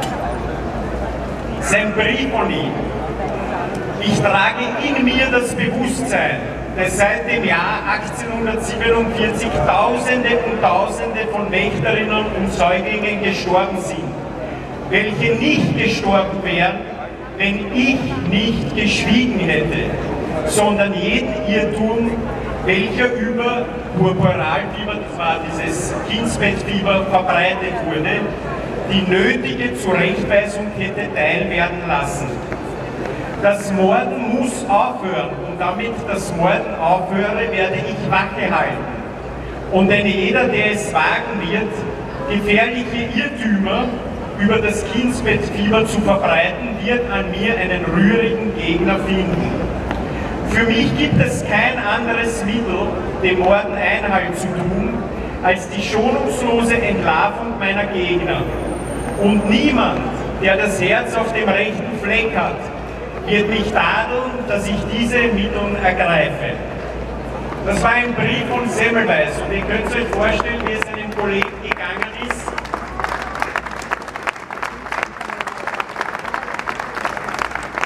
Der nicht nur versucht hat, die Erkenntnis zu verfolgen, sondern gegen jene gekämpft hat, die eigentlich genau das Gleiche tun sollten wie er, Erkenntnis folgen. Und ich habe jetzt ein paar Namen rausgesucht und ich möchte über die Verbrechen dieser Namen oder dieser Herrschaften berichten. Ein Herr Herbert Niedelmann, er war Universitätsprofessor und publizierte im Jahr 1979 im New England Journal of Medicine, dass er einen Zusammenhang entdeckt hat zwischen Blei und dem IQ von Kindern. Ihm fiel auf, dass jene Kinder, die viel Blei in den Milchzähnen hatten, dass die einen sehr schlechten IQ-Test hatten. Und als er das versuchte dann publik zu machen, was kam? Er wurde als Verschwörungstheoretiker, als, äh, als ein Arzt, der, nennen Sie jetzt einmal schön, der sein, sein Studium gewonnen hat. Er wurde von verschiedensten Instituten wie den Environmental Protection Agency, Office of Scientific Integrity, National Institute of Health lächerlich gemacht. Nur weil er darauf aufmerksam machte, dass Blei eine schädigende Wirkung haben möchte. Dazu muss man wissen, dass bis zu diesem Jahr das Blei in Malfarben, Benzin, in wahnsinnig vielen Produkten enthalten war. Aber er ist nicht der einzige Verschwörungstheoretiker. Rachel Carson, ihr Verbrechen war es, dass sie die schädliche Wirkung von Dichlor-Diphenyltrichlorethan, ihr kennt das wahrscheinlich als DDT, äh, publik gemacht hat. Da sie lesbisch war, hatte man sie bezeichnet als ein hysterisches Weib. Und ihr Verbrechen bestand nur darin, den Medizinern klarzumachen, du, vielleicht ist es nicht so gut, wenn wir das DDT als, äh, als Läuseprophylaxe einsetzen, als Malaria-Prophylaxe. Wieder lehnte sich das ganze medizinische Establishment gegen diese unter Anführungszeichen Verschwörungstheoretiker. Ein weiteres Beispiel. Ellie Stewart, Ärztin, sie hat es gewagt, herauszufinden, dass es einen Zusammenhang geben könnte zwischen der hohen Krebsrate bei wohlhabenden äh, Eltern oder bei, bei Kindern aus wohlhabenden Familien und der Röntgenuntersuchung. Bis zu dem Jahr 1940 hat man das Röntgen sehr kritiklos eingesetzt. Man hat Menschen, wenn sie sich Schuhe kaufen gingen, einfach gerönt. Und plötzlich kam es zu einer erhöhten Rate von bösartigen Tumoren, hauptsächlich bei Wohlhabenden. Sie hat es publiziert und was war der Dank der Scientific Community? Sie wurde eben als lesbisches Weib tituliert, ihr wurde die Berufsberechtigung entzogen und erst 25 Jahre später hat man ihre Erkenntnis dann äh, gebilligt. Eine weitere Virologin, auch eine Verschwörungstheoretikerin, Bernice Eddy, sie war am National Institute of Health beschäftigt und konnte nachweisen, dass im Impfstoff gegen die Polio ein Virus, ein Affenvirus zu finden war, den man bis dato noch nie im Menschen isoliert hat. Als sie ihre Vorgesetzten darauf aufmerksam machte, hat man sie einfach gekündigt. Es kam, obwohl die Laboratorien wussten, dass also dieser Impfstoff, dieser Polio-Impfstoff problematisch ist, kam es trotzdem zur Ausrollung des Impfstoffes.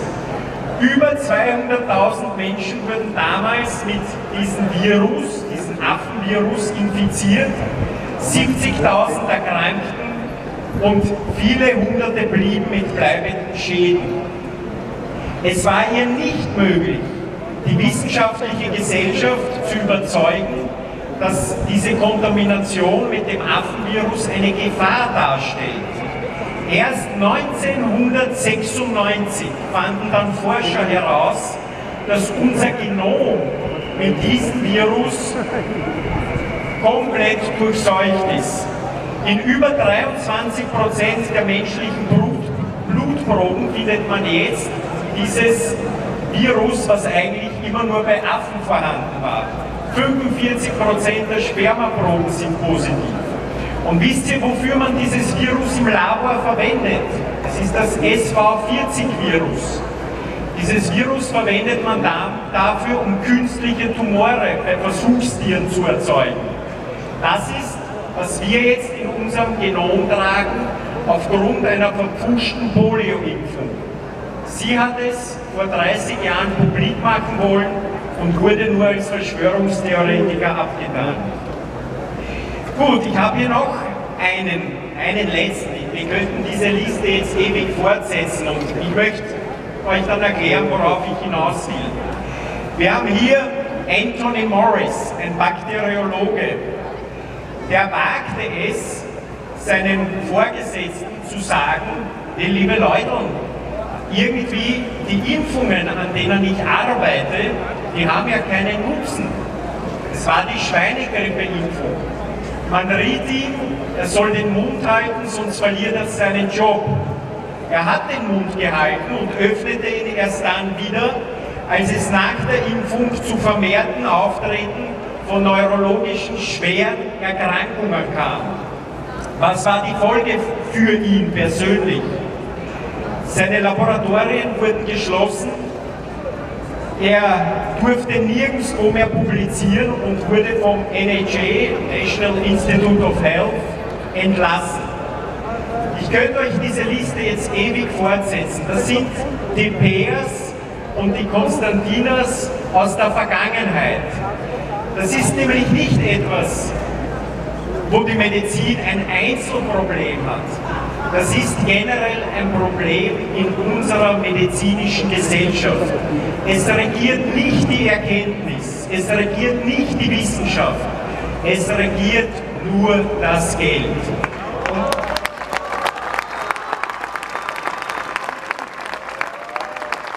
ganz deutlich wird es, ganz deutlich wird das sichtbar bei einem der letzten Kündigungen. Ich weiß nicht, ob ihr schon mal was gehört habt von, Moment, dass ich den Namen richtig ausspreche, ich tue mir immer schwer mit Namen, Peter Götze.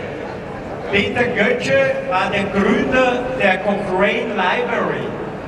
Ich habe euch schon ein paar Mal was über die Cochrane Library erzählt. Das ist eine Datenbank, die gegründet wurde von Ärzten, weil ihnen am Nerv ging, dass es in der Medizin so unwissenschaftlich zugeht. Vor über 20 Jahren taten sich dann Leute zusammen wie Peter Götze und sagten, du passt auf, wir brauchen einen Biologen, einen Mathematiker, einen Mediziner, einen Physiker, die alle zusammen die Köpfe anstrengen und sich die bestehenden Publikationen, sich die bestehenden Therapieempfehlungen genau ansehen und sie evaluieren, ob sie wirklich auch einen Sinn machen. Das war vor 20 Jahren die Geburtsstunde der Cochrane Library. 2018 wurde Peter Götze gekündigt von wem? Von Bill Gates, weil er sich kritisch zu einer Impfung aussprach. Das ist es, wie es in der Medizin zugeht. Und wir haben hier drüben die Polizei stehen und ich muss mich bei euch vielmals bedanken. Ihr macht einen super Job, aber ich möchte euch eine Frage stellen.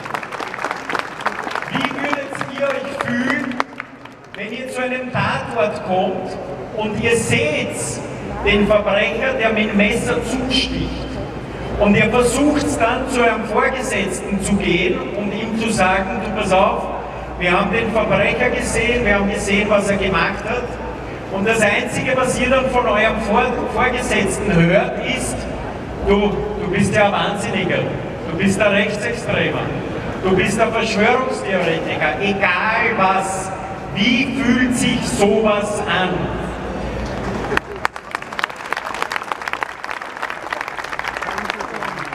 Und ich erlaube mir die Frage, mir selber zu beantworten.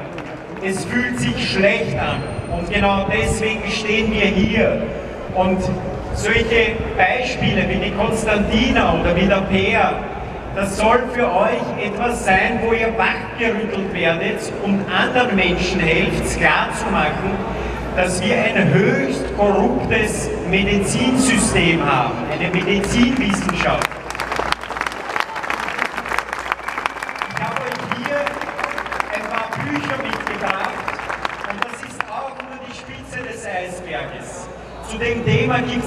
Nicht nur Bücher, nicht nur Dokumentationen. Es gibt wahnsinnig viel, aber es wird nur dann eine Kraft bekommen, wenn wir miteinander in Liebe aktiv werden. In diesem Sinne, alles Liebe.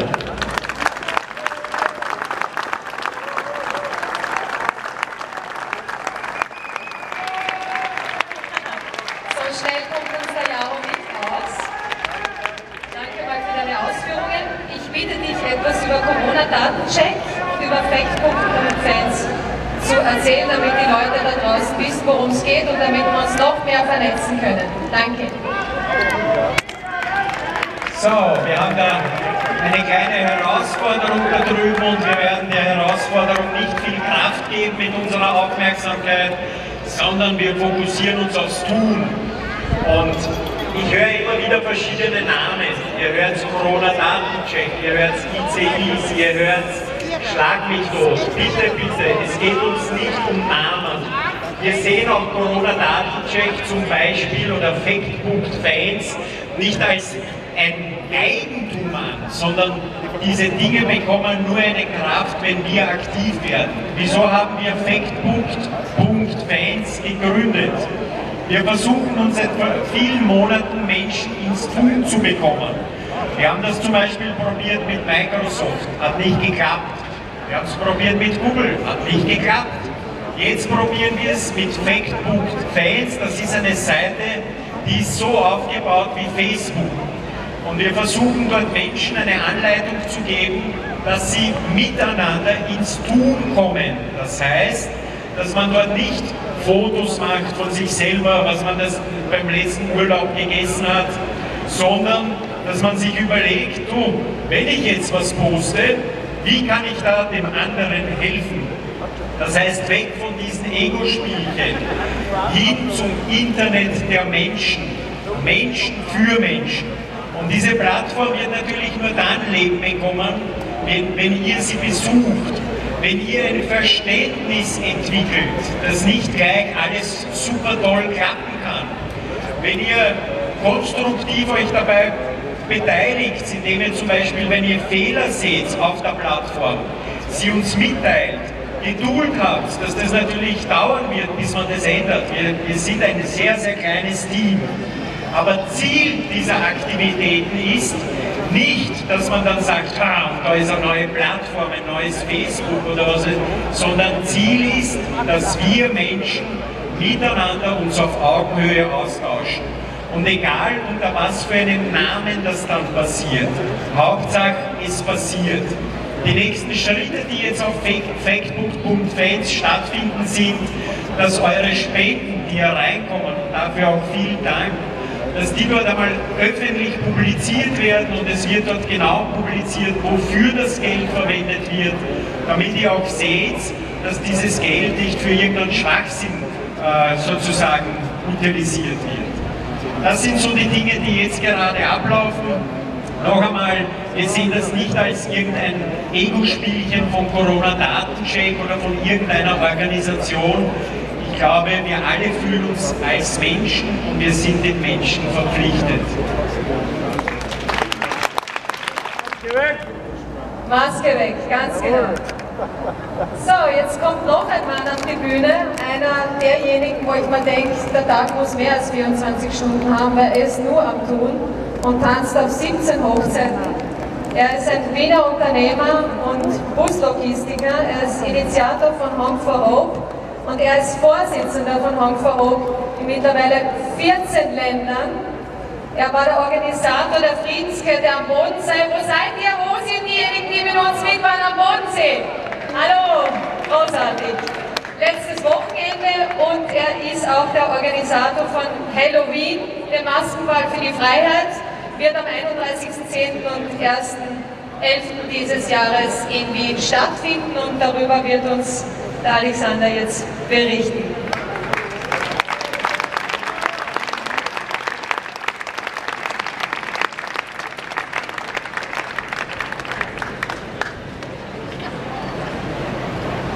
Danke Natascha für die tolle Einleitung. Hallo Graz.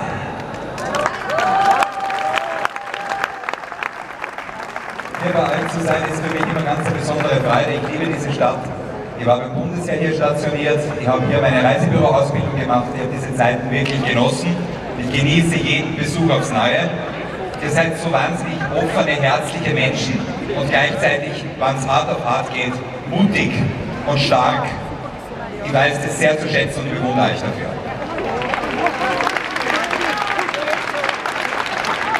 Wie die Natascha ganz richtig gesagt hat, äh, ich tanze wirklich mittlerweile auf 100.000 Hochzeiten versuche überall die Ressourcen, ich bin ja nicht alleine, sondern die Ressourcen, die Tätigkeiten äh, meines Busverbandes in den Dienst der Friedensbewegung zu stellen, Sachen zu bewegen, Sachen zu vernetzen. Äh, das Thema, über das der Jaro gerade zuletzt gesprochen hat, ist auch ganz wesentlich meines.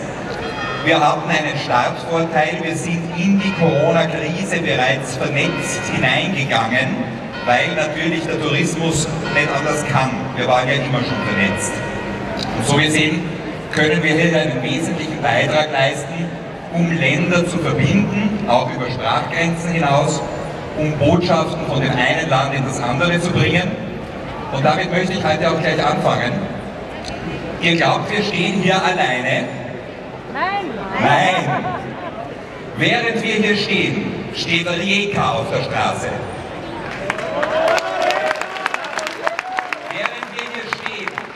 findet der Schweigemarsch in Berlin statt. Und während wir hier stehen, marschiert auch London.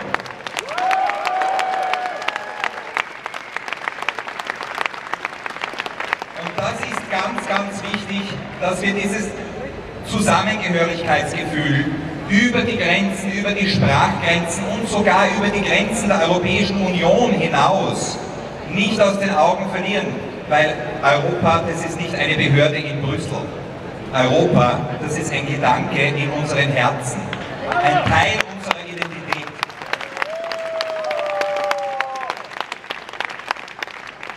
Dafür sind wir am Bodensee gestanden. Zwischen 30 und 50.000 Menschen.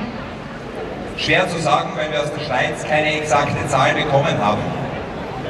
Sind am Bodensee gewesen, ich sehe ganz viele Friedenskette Halstücher hier in Graz. Viele auch von euch waren mit dabei. Und wir haben eine Kette gebildet als Zeichen für die europäische Einheit, aber auch als Zeichen für den Frieden.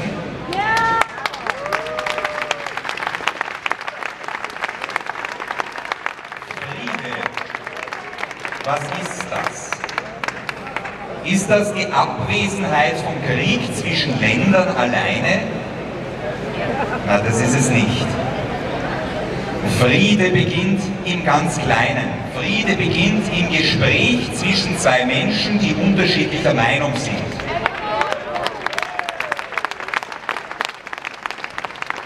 Und ich trete immer wieder ganz stark dafür ein, wenn wir Frieden auf der Welt wollen, dann beginnen wir bei uns selbst. Sprechen wir mit Respekt und Geduld miteinander. Hören wir einander zu, auch den Andersdenkenden. Ich finde das gerade schade, dass die äh, ja, kleine Herausforderung, wie es Jaro genannt hatte, nicht jetzt gerade stattgefunden hat, sonst hätte ich die Herrschaften zum Gespräch hier aufs Podium gebeten. Wir müssen auch unseren Gegnern zuhören. Wir müssen denen zuhören, die in der Angst sind.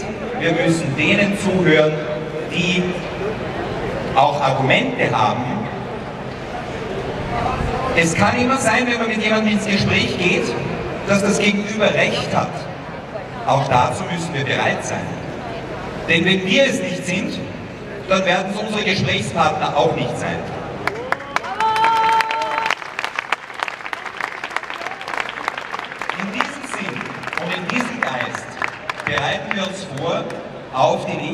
Großveranstaltung, die ich die Ehre habe, koordinieren zu dürfen.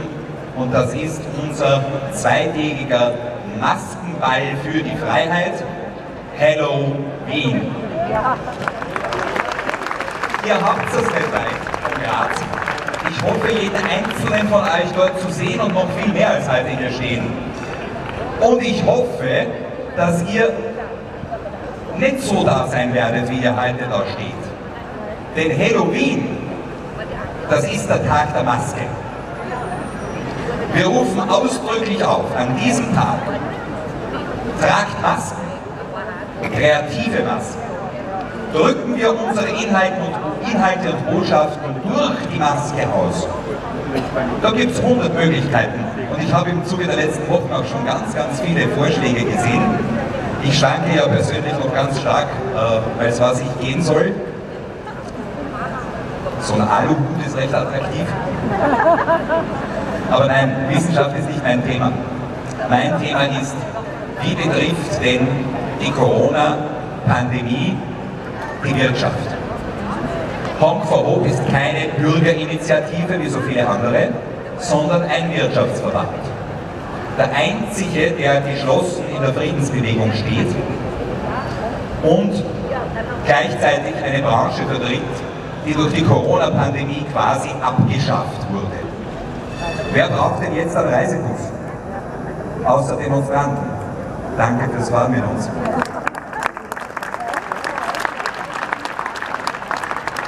Ganz besonders danke ich jenen Demonstranten, die sich im Zuge der Friedenskette auch dafür entschieden haben, tatsächlich mit einem Honk Hope Bus zu fahren.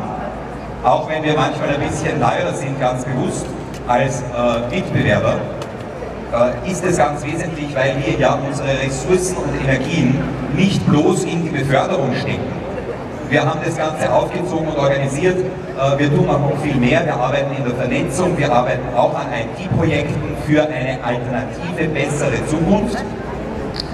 Und da möchte ich eines erwähnen, dass äh, Montag oder Dienstag, sagen meine Programmierer, endgültig veröffentlicht wird. Weiß nicht, ob ihr von, von dem schon gehört habt. Querschlafen.com. Schlafen unter Freunden. Wenn man zu so einer Demo fährt, ist es relativ teuer. Man braucht ein Ticket, ein Bus, eine Bahn, irgendwas. Oder man fährt mit dem Auto und bezahlt Benzin.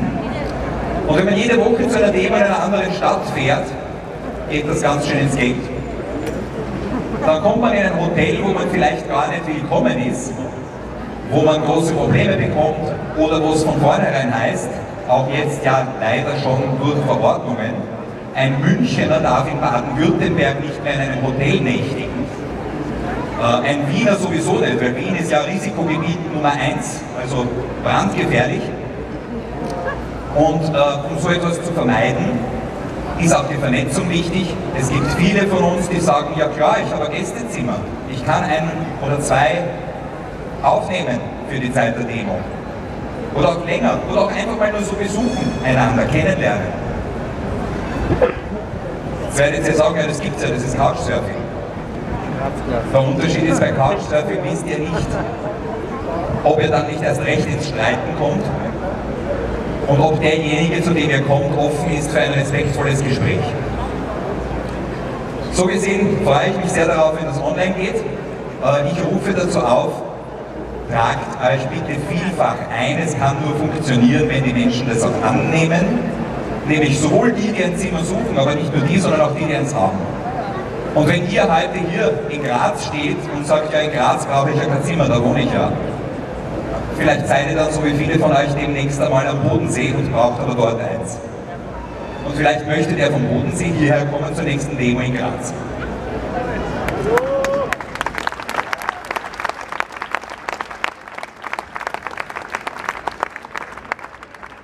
Reden wir noch ein bisschen über Halloween, Maskenball für die Freiheit. Wie soll das ablaufen? Wir haben im Augenblick ein ziemlich groß angelegtes Konzept. Am Vormittag des ersten Tages Länderbühnen in verschiedenen Sprachen, auch für Initiativen aus unseren Nachbarländern. Da haben wir derzeit ein kleines Problem. Wegen der zunehmend strenger werdenden Reisebeschränkungen wo immer mehr unserer Nachbarn Probleme bekommen, wenn sie zu uns kommen. Wir arbeiten hier an einem Alternativkonzept für den Vormittag. Das wird etwas kleiner dimensioniert sein als bisher angekündigt, leider. Aber wir verstehen natürlich, dass jemand, der hierher kommt, nicht unbedingt anschließend zwei Wochen in eine Zwangsquarantäne gesteckt werden will. Das hat ja Auswirkungen auf äh, den Alltag, den Beruf, das ist ein ziemlich großes Investment. Es gibt einige, die sagen, ich mache es trotzdem. Aber es gibt eben auch viele, die sagen, das ist es mir persönlich nicht wert, ich unterstütze euch aus der Ferne. Und auch diesen Menschen sind wir natürlich dankbar, wollen ihnen auch die Möglichkeit geben, das zu tun und werden daher einige der Länderprojekte vermehrt im Online-Bereich ansiedeln, sodass die Teilnahme möglich ist, auch wenn man nicht vor Ort dabei ist. Am Nachmittag haben wir dann die Hauptkundgebung. Da werden wir eine ganze Reihe klingender Namen auf der Bühne haben. Menschen, die halt bekannt sind, sowohl aus Österreich als auch aus den freien Medien, als auch eben aus Deutschland. Einige der Stargäste, die sich unter anderem angekündigt haben, sind der äh, pensionierte Polizeibeamte Karl Pilz aus München, unsere liebe Vivika, aus Bayern, die das Global Peace Mantra gesungen hat am Bodensee. Zwei Männer, die ihr schon kennt, mit denen ich hier in Graz schon auf der Bühne stand, Samuel Eckert und Bodo Schiffmann. Die aber beide wegen der Reisebeschränkungen noch etwas zögern. Also das ist im Augenblick fraglich. Äh, es hat sich auch angekündigt, Michael Ballweg und viele, viele, viele andere. Es haben sich aber angekündigt eine ganze Reihe der Anwälte für Aufklärung. Und das ist mir ein besonders wichtiges Thema. In vielen Fällen ist unser letzter Weg, die Demokratie und die Grundrechte bzw. die Verfassungsrechte zu schützen, der Weg zu den Gerichten. Und in vielen Fällen werden Bestimmungen, die zuerst alternativlos sind, plötzlich von einem Gericht als verfassungswidrig erkannt und aufgehoben. Dafür brauchen wir Anwälte, die uns unterstützen in allen Ländern. Und ich freue mich sehr, dass die Anwälte für Aufklärung hier auch aus Deutschland nach Wien kommen werden und auch sprechen werden.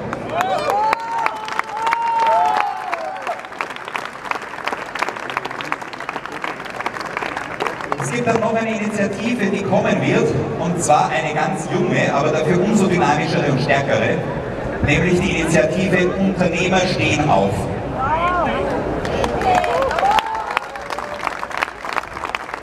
Richtig, endlich, ja. Seit meiner ersten Demo-Rede am 2. August wiederhole ich es in jeder Rede. Wo seid ihr anderen? Ihr seid genauso betroffen wie das Busreisegewerbe. Ihr seht es in euren Bilanzen. Äh, gleichzeitig, es geht um eure Kunden, es geht um den Beruf, den ihr gerne ausübt. Wo seid ihr? Ja, es ist soweit, es bildet sich eine dynamische Bewegung. Ich habe heute und gestern ganz viele Namen gelesen, äh, die sich da in kürzester Zeit zusammenschließen und vernetzen. Da ist jetzt richtig was in Schwung gekommen. Endlich.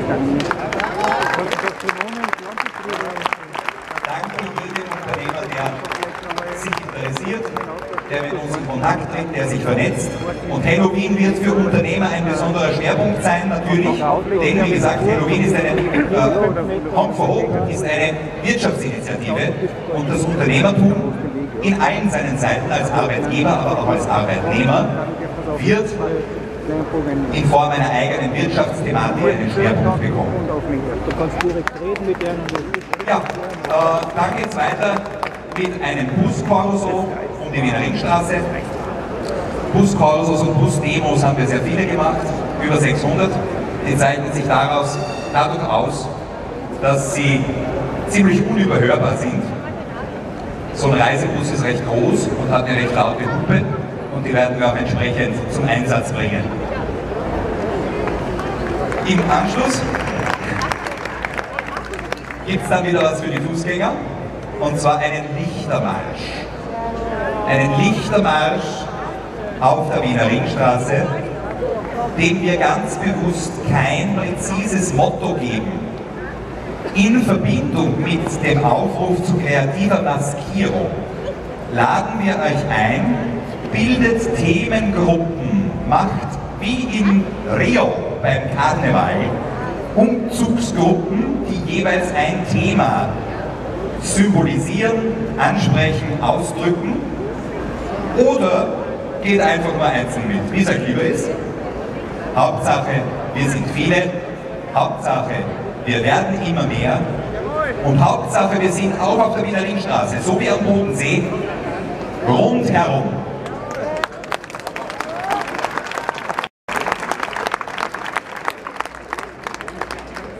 Da sind wir bei einem weiteren meiner Lieblingsthemen. Rundherum. Warum sage ich das so gern? Es ist meine Antwort auf die Frage, wie steht ihr politisch? Seid ihr Mitte, seid ihr rechts, seid ihr links, was seid ihr? Wir sind rundherum. Wir sind das Volk.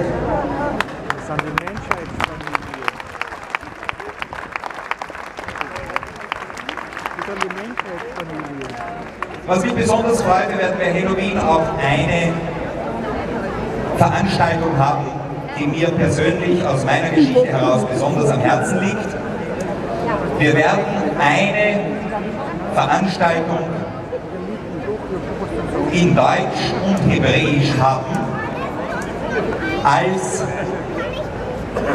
Mahnung gegen Krieg, Faschismus, Diskriminierung und Gewalt.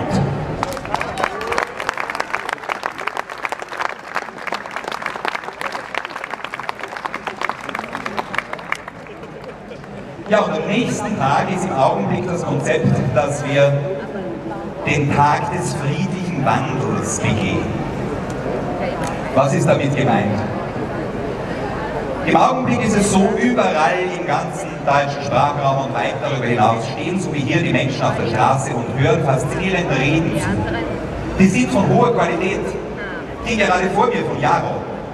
Toll. Wirklich interessant. Medizingeschichte, medizinische Aspekte. Äh, fantastisch. Aber Argumente allein bringen uns nicht wirklich voran. Wir brauchen konkrete Aktionen, die nicht nur für eine Veranstaltung halten, sondern darüber hinaus.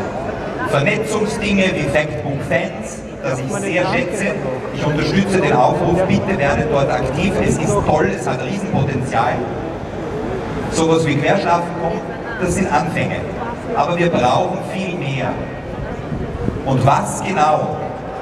Das können nicht ein paar entscheiden und beschließen. Dafür brauchen wir eine breite Diskussion mit Vorschlägen, mit Ideen, mit Abwägungen, mit Für und mit Wider.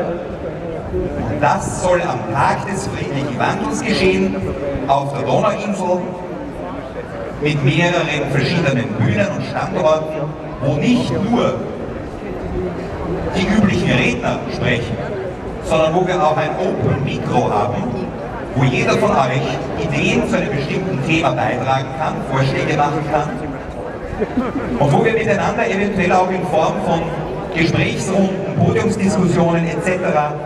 ins Gespräch hineingehen können, was machen wir sonst noch, was brauchen wir sonst noch, damit wir zu unserem gemeinsamen Ziel kommen. Jetzt ist die Frage, was ist unser gemeinsames Ziel? Ja, das haben wir klar beantwortet, als wir in einer großen, grenzüberschreitenden Konferenz in Salzburg beisammengesessen sind und sechs Stunden lang gesprochen haben darüber, was sind eigentlich die fundamentalen Werte, für die wir alle eintreten. Vier Punkte. Eigenverantwortung, transparente direkte Demokratie, Selbstbestimmung, Achtung, Verantwortung und Respekt für alles Leben.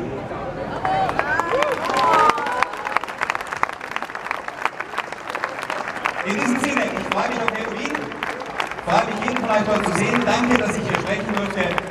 Vielen Dank Graz, vielen Dank Natascha. Ich gebe das Mikro zurück.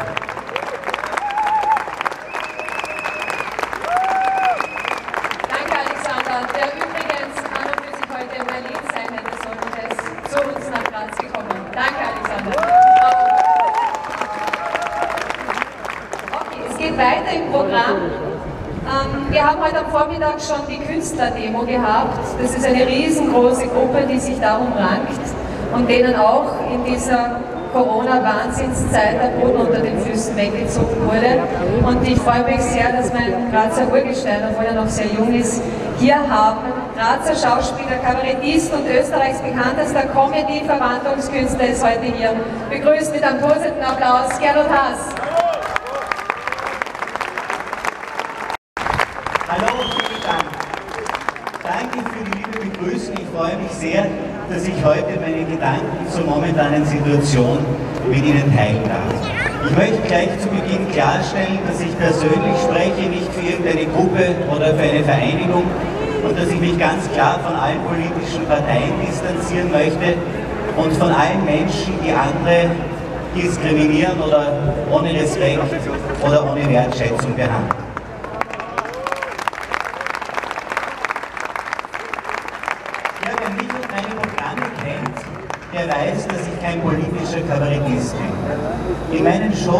Mir darum, die Menschen über das Lachen offener zu machen. Offener für mehr Bewusstsein, Selbsterkenntnis und Selbstannahme und für mehr Vertrauen ins Leben. Und gerade das Vertrauen ins Leben ist es, das zurzeit so viel fehlt. Wobei ich kann jeden verstehen, der Angst hat. Ich kann jeden verstehen, der Angst hat aufgrund der vielen Meldungen in den Zeitungen, in den Medien und aufgrund dessen, was man von der Politik seit Monaten hört. Ich kann es auch deshalb so gut verstehen, weil ich bis vor 20 Jahren selbst ein unglaublicher Hypochonder war. Ich habe unter enormen Krankheitsängsten bis hin zu Todesängsten gelitten und ich war jedes Jahr bei unzähligen Ärzten. Jedes Symptom, das ich an meinem Körper wahrgenommen habe, habe ich sofort gegoogelt und bei den möglichen Diagnosen im Internet dann immer die schlimmste angenommen. Ja, meine Ängste wurden auch dadurch immer größer, weil die Meinungen und Diagnosen der Ärzte, die ich aufgesucht habe, sehr oft extrem weit voneinander abwichen. Bei einem geschwollenen Lymphknoten zum Beispiel war von völlig unbedenklich bis um Gottes Willen ziemlich sicher bösartig sofort ausschneiden, alles dabei.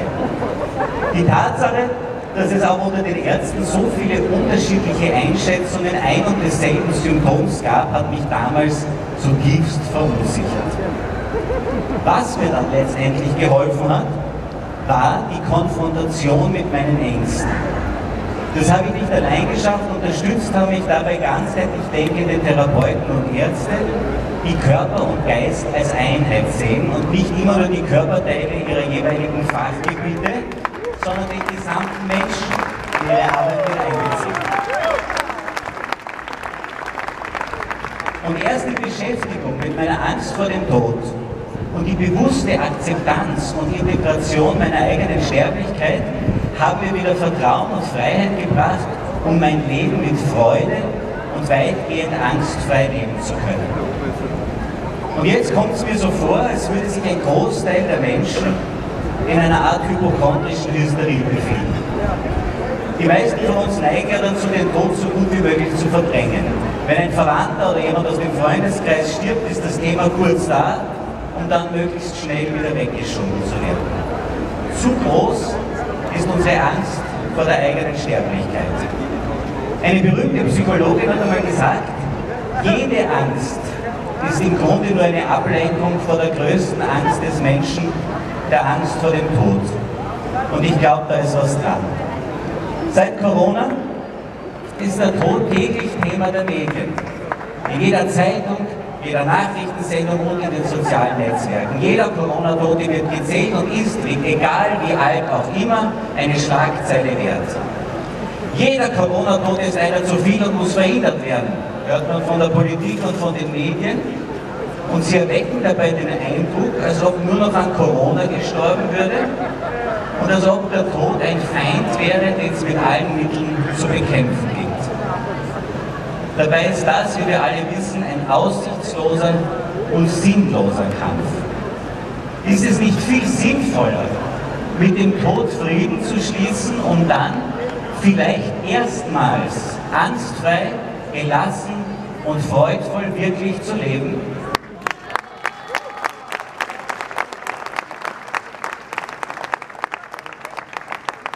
Sie kennen sicher alle das Sprichwort, Angst ist nie ein guter Berater.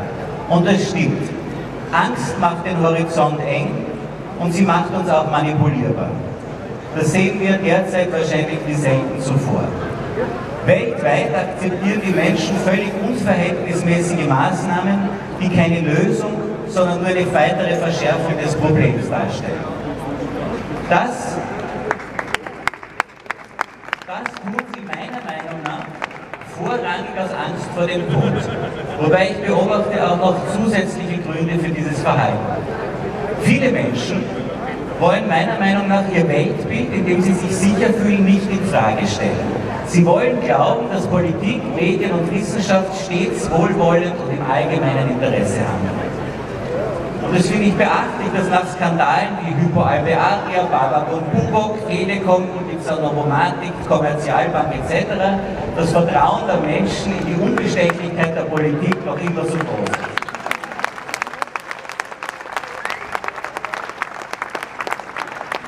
Besonders, weil die genannten Skandale, und da bin ich sicher, nur die Spitze des Eisbergs sind. Das meiste fliegt sowieso nicht auf.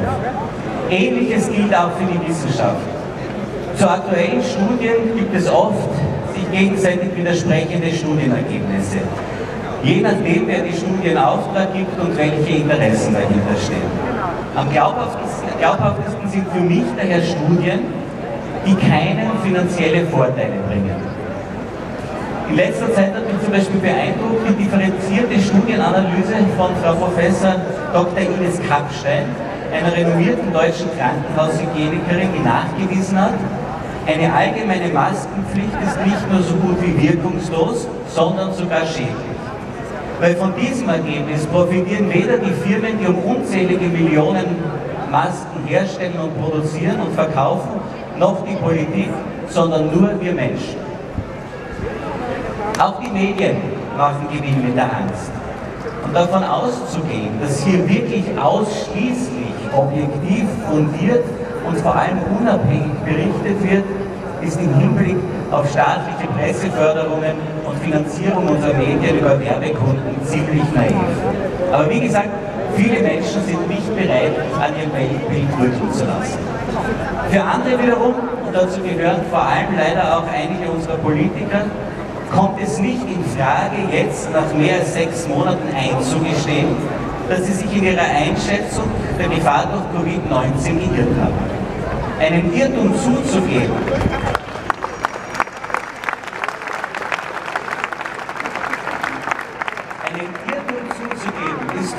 Leute kaum machbar. Zu groß ist ihr Ego und scheinbar hat es sich bis zu ihnen noch nicht durchgesprochen, dass das Eingeständnis von Schwächen eine große Stärke ist.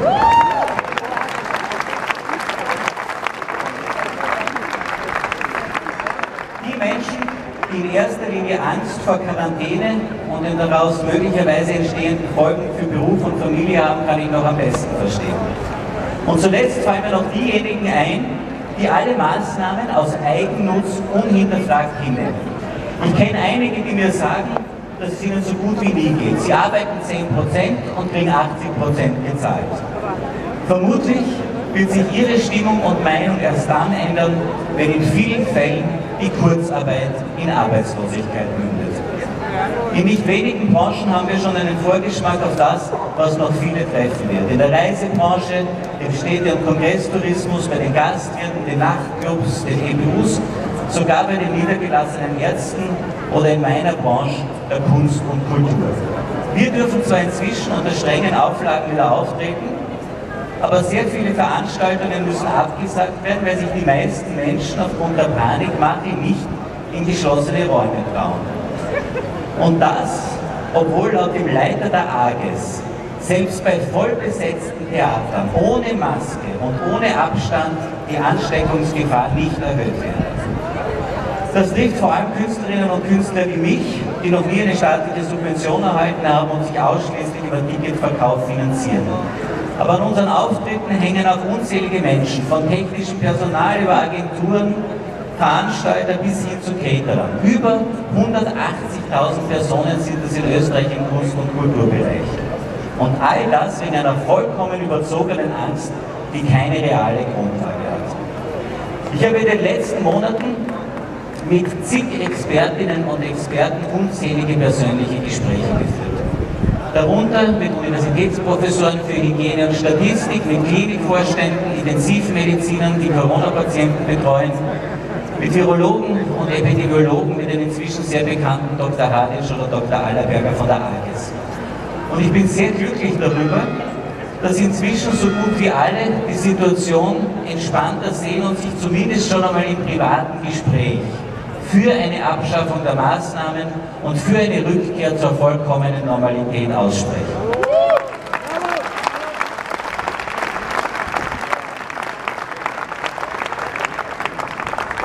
Ich wünsche uns allen, dass immer mehr Ärzte den Mut haben, ihre kritische Meinung öffentlich zu äußern und die politischen Verantwortlichen zu einem raschen Umdenken aufzufordern, ohne Angst vor negativen Konsequenzen haben zu müssen. Wir müssen, wir müssen mit dem Coronavirus, und das ist auch meine Überzeugung, ganz normal leben lernen, wie mit ja jedem anderen Virus auch. Die vorherrschende Politik der Angst vernichtet nicht den Coronavirus, sondern zerstört die Grundlagen unseres Wohlstandes und unserer hohen Lebensqualität.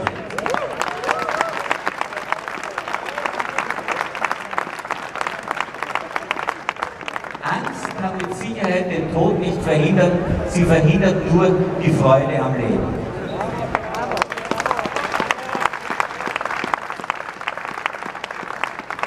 Und das sieht man auch. Die Menschen gehen zwar noch irgendwie mit Maske und Abstand zum Sparen, aber haben anscheinend die Freude an schönen Stunden im Theater, Kino, Konzert oder bei Festen schon verloren. Und auch das liegt an den übertriebenen Maßnahmen der Regierung.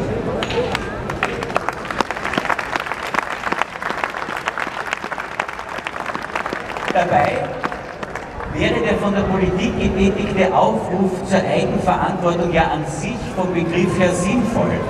Aber Eigenverantwortung kann nicht eine blinde Befolgung sinnwidriger und die Gesellschaft schädigender Maßnahmen bedeuten.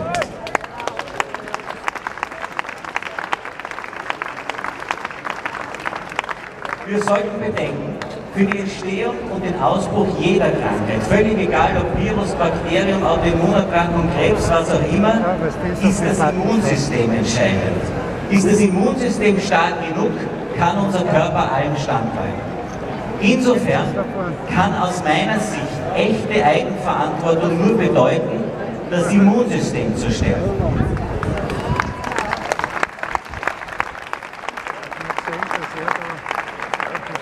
Wie man das macht, weiß man heute schon sehr gut. Das kann auch jeder im Internet nachschauen und gute Ernährung, Bewegung, zusätzliche Vitamine wie Vitamin C, Zink, Vitamin D und vor allem durch Seelenhygiene, Lebensfreude und Angstfreiheit.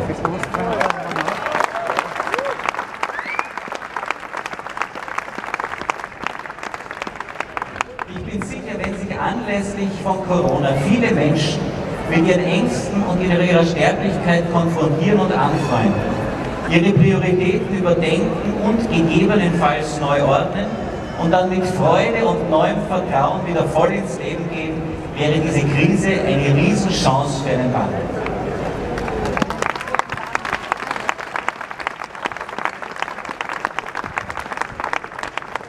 Wir wissen, jeder von uns erzeugt seine persönliche Realität durch seine Reaktion auf die äußeren Umstände.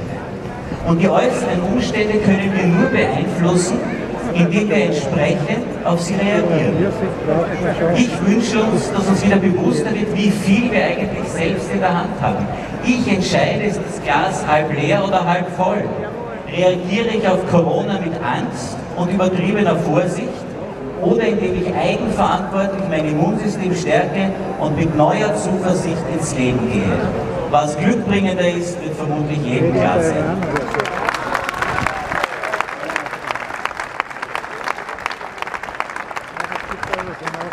Und vielleicht gelingt es uns heute hier, dass jede und jeder, der heute hier ist, dazu etwas beiträgt. Wenn immer wir wieder mit einem Menschen in unserem Umfeld zusammen sind, der Angst hat, und es schaffen, ihm oder ihr die Angst zu nehmen, erzeugen wir dadurch ein Feld des Vertrauens in eine gute Zukunft. Und das wünsche ich uns. Es wäre nämlich schön, wenn unser Bundeskanzler dann demnächst im Fernsehen sagen könnte, bald wird jeder jemanden kennen, der die Corona-Angst endgültig losgeworden ist. Danke. Danke. Alles Gute. Danke dir. So ernst kenne ich ihn gar nicht. Äh, wenn ihr wieder was zum Lachen haben wollt, ich hoffe, das ist euch wichtig und unterstützt auch den Gernot. Ich habe Träne gelacht letztes Jahr, aber habe ihn zweimal besucht. Ähm, er hat zwei Programme die bald anstehen. Das eine ist Meine liebsten Witze. Das ist ein neues Programm, das wirst du am 20. November, ist das richtig? Äh, Im Theater der Komödie Graz inklusive Live-Musik zum Besten geben. 20. November, ja, notiert es euch. Und am 21. Jänner 21 ist zwar noch ein bisschen hin, aber könnt ihr euch auch schon merken, jetzt Weihnachtsgeschenke stehen bald vor der Tür. Ebenfalls in der Komödie in Graz spielt es ein aktuelles Comedy-Programm, Fipi Hurra. Äh, und da schlüpfst du in die Kleider von 20 Prominenten, ist das richtig? 20? Es sind über 20, über 20, ja, alle in Kostüm und Maske, da ist eben unser Bundeskanzler auch dabei, den hier, glaube ich, jeder sehr gerne sieht. Also ich glaube, Herr Ronschel sind schon gesehen, ja, ja, die Zukunft bringt sicher sehr Erfreuliches, liebe Scherbenfreunde. Ich alles Liebe, Ihnen in der Landschaft. Danke dir. Also, 20. November, 21. Jänner, vielen, vielen Dank. Alles Liebe. So, und jetzt ein bisschen zeitverzögert bitte ich die Miri mit ihrer Tochter Amalia auf die Bühne. Wir werden die Verlosung durchführen der beiden Bilder, die der Luno gemalt hat, kritisch zum Thema Corona. Wenn du so lieb bist, Amalia, kannst du bitte ein Los ziehen für den zweiten Preis. Das ist dieses Covid-19-Bild. Einfach da mal reinwurden und eins rausnehmen, ein Los. Dankeschön. Es ist ein grünes Los, also alle, die ein grünes Los haben, haben schon mal eine Chance. Und zwar die Nummer 60.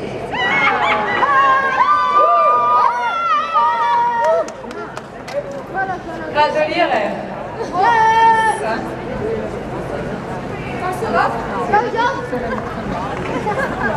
So, Amalia, magst du das Bild übergeben?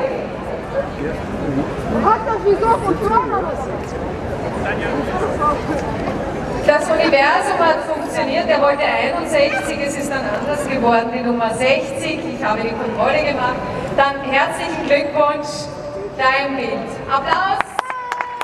Danke für die Spende, danke alle, die ihr losgekauft haben. Dankeschön. So, und jetzt der erste Preis ist dieses sehr futuristische Bild von Bill Gates. Bitte, Amalia, wenn du so lieb bist. Einmal noch ziehen.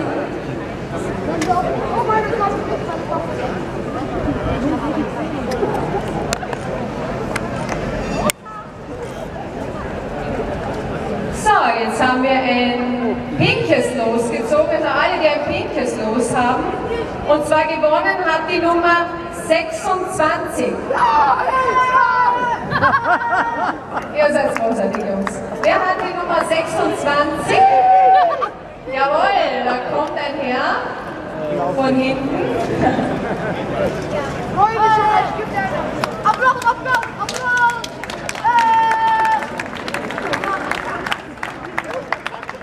Ich sehe sie.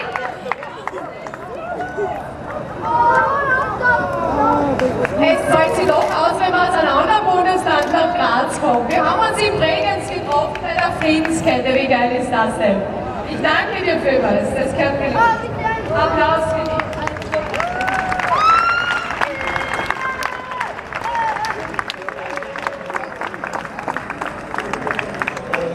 Ich darf gerne eins machen, das haben wir uns vorher schon ausgemacht. Wir haben eigentlich gewusst, wir kümmern das Ding, mein Uli und ich. Äh, wir gerne eins, äh, nicht weil wir es nicht wertschätzen, im Gegenteil, aber wir darf gerne für die Initiative da, das jetzt da verlosen. Ja, wenn das okay ist. Äh, Entschuldigung, versteigern. Versteigern. Versteigern. Das ist eine gute Idee. Alles klar. Dann würde ich sagen, ja, das ist voll lieb von dir. Vielen, vielen Dank für die Spende. Also zurückgespendet.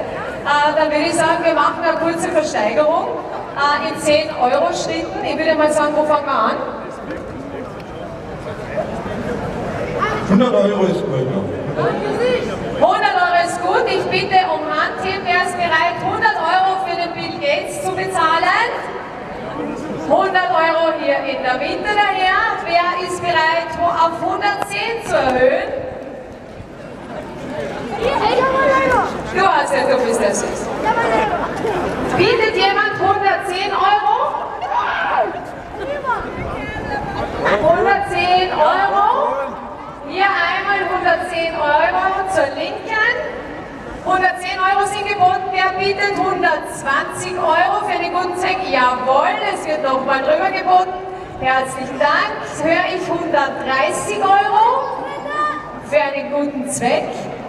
130 Euro, 130 Euro. Ich glaube, die zwei Herren machen sich's aus. Höre ich nochmal eine Erhöhung auf 140 Euro. 140 Euro. 150 Euro. 150 Euro, großartig. Höre ich 160? Ist jemand bereit, 160 Euro für das Bild zu bezahlen? 160? 150 ist das letzte Gebot. Dann würde ich sagen 150 zum ersten, 150 zum zweiten und 150 zum dritten. Vielen Dank!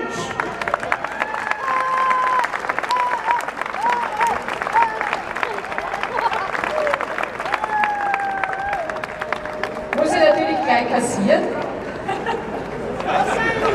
Herzlichen Glückwunsch, es passt eh genau, weil du wolltest dann eher auf die Bühne kommen und sprechen. Also passt das an und für sich sehr gut. Ich würde sagen, das Finanzielle machen wir dann. Okay, machen wir dann auch. Gut. Alle hoch!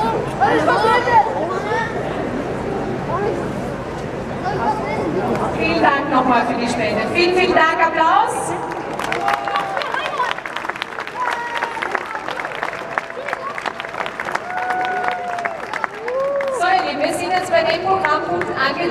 Dass Menschen aus dem Publikum die Möglichkeit haben, zu euch zu sprechen. Ihr würdet gerne noch ein Bild versteigern? Alles klar, dann versteigern wir schnell noch ein Bild. Wir sind spontan und flexibel. Leben passiert, während du andere Pläne machst. Okay, wir haben noch ein Bild, das zur Versteigerung steht. Bringt es mir hoch? Das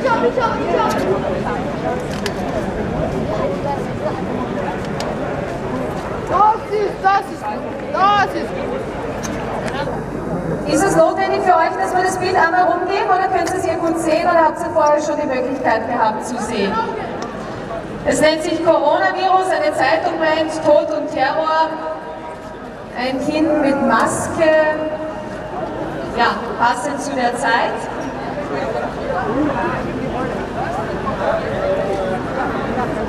Okay, sollen wir es einmal rumgehen lassen? Gut, wo fangen wir an? In welcher Höhe, Ari?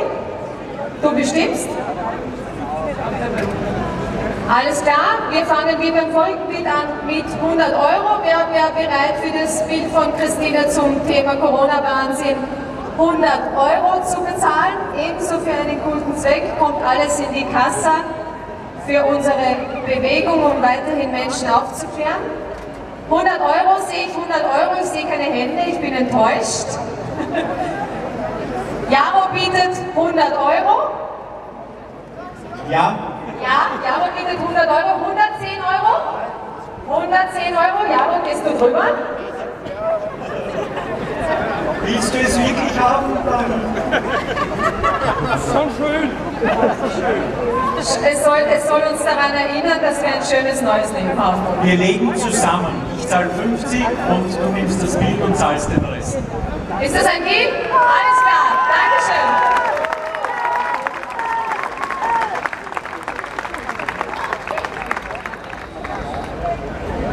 Vielen Dank! Werner, Nathalie, ich würde euch auf die Bühne bitten. Wo seid ihr? Gut, dann kommt mal die Nathalie. Nathalie ist aus dem Publikum, lasst euch überraschen. Sie wollte zu euch sprechen. Nathalie, wo kommst du her? Steyr. Äh, Nathalie, zu welchem Thema wirst du sprechen wollen oder lasst uns äh, überraschen uns einfach? Ich lasse dich überraschen, es wird sehr temperament. Also mein Name ist Nathalie, ich arbeite beim Roten Kreuz, also freiwillig halt. Und mich stinkt es wirklich, dass die Leute einfach sie einschüchtern lassen, weil das heißt, wir dürfen nicht zu eurem Leib. Geht sie rein, sie sind gefährlich, das geht gar nicht für mich, weil ich bin ein sozialer Mensch Und die Rettung steht auch für sozial. Darum muss man einfach sozial sein und darum, man darf die einen leider nicht einsperren, weil das hat mich ziemlich betroffen, das hat, man kommt die alten Leute. Hey, die alten Leute tun uns nichts, sondern die haben unser Österreich aufgebaut. Und das zählt, weil sowas, was 1939 bis 1945 passiert ist, sowas darf echt nicht mehr passieren in unserem Österreich.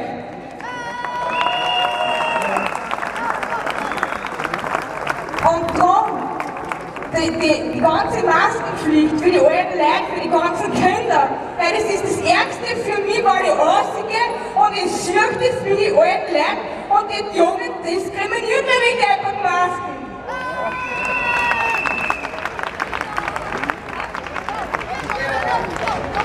Und darum, also Leon, bitte, wir müssen wirklich was tun für unser Österreich. Und der, und der Ohrwaschel-Kaktus, beziehungsweise der Kurzel, der und, der, und das Kochherz so längst weg, weil die ruinieren unser Österreich.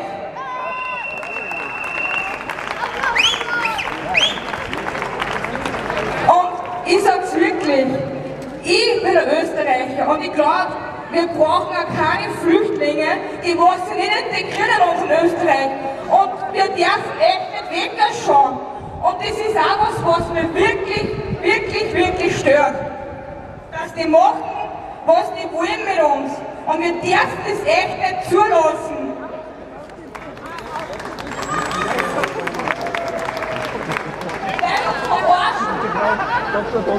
Und eins sage ich auch noch. Wir Österreicher, wir lassen sie wirklich mehr schüchtern. Weil ich sage wirklich, das Corona ist nicht einmal Corona, sondern sie tun das einfach, dass sie ärmere Mächte und das Ganze durchführen können. Das Bargeldlose, was Volksjahr, was einige Jahre gesagt haben, dann ist mit dem Chip, das haben sie auch schon lange gesagt. Und das geht gar nicht, weil wir sind frei und wir sind freie Menschen und wir stehen auf unsere Freiheit. Danke.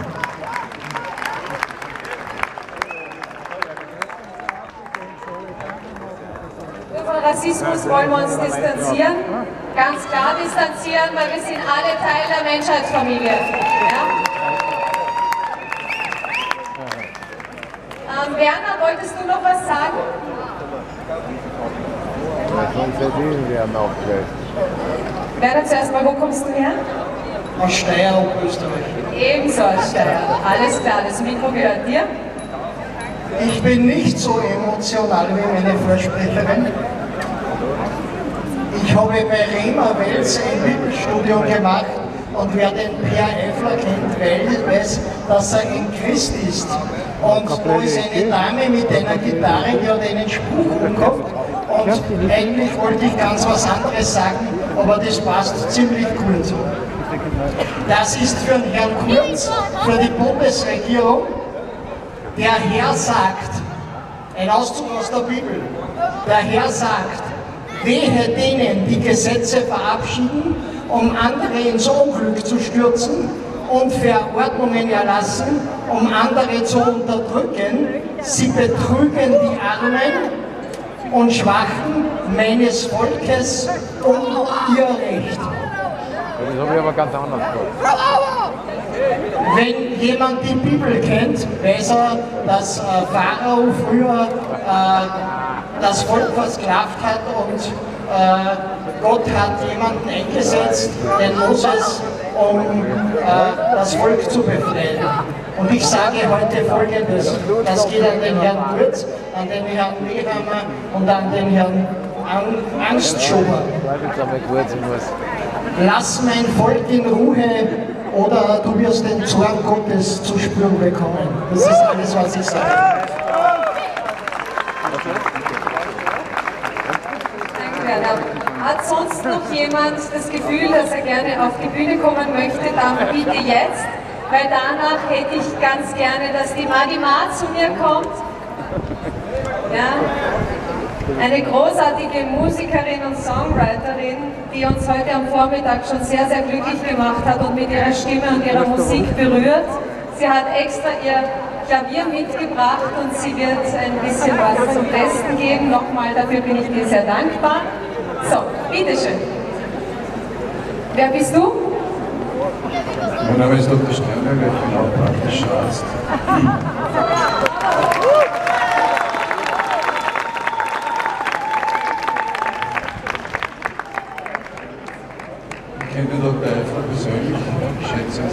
Das rote Licht da ausgeht, Ich sagte, ich kenne den Dr. Eifler persönlich, ich die schätze rennt ihn nicht sehr. durch, die schaut so nach. Ich bin bis jetzt auf keine Demo gegangen, weil ich nicht den Eindruck erwecken möchte, dass ich ein Rebell bin oder dass ich ein Revoluzer bin oder irgendeinen Aufstand plane.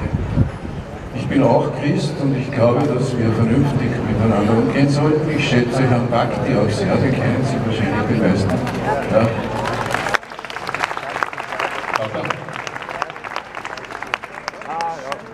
ich glaube, dass, dass äh, Professor Bakti eine Art hat, die meisten anspricht.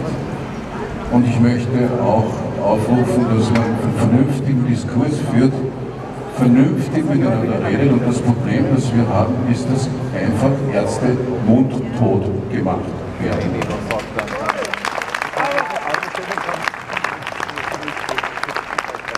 Es kann nicht sein, dass wir in einem Land leben, wo man sich fürchten muss, und ich stehe hier neben der Ärztekammer, ja, wo man sich fürchten muss, wenn man die Wahrheit sagt.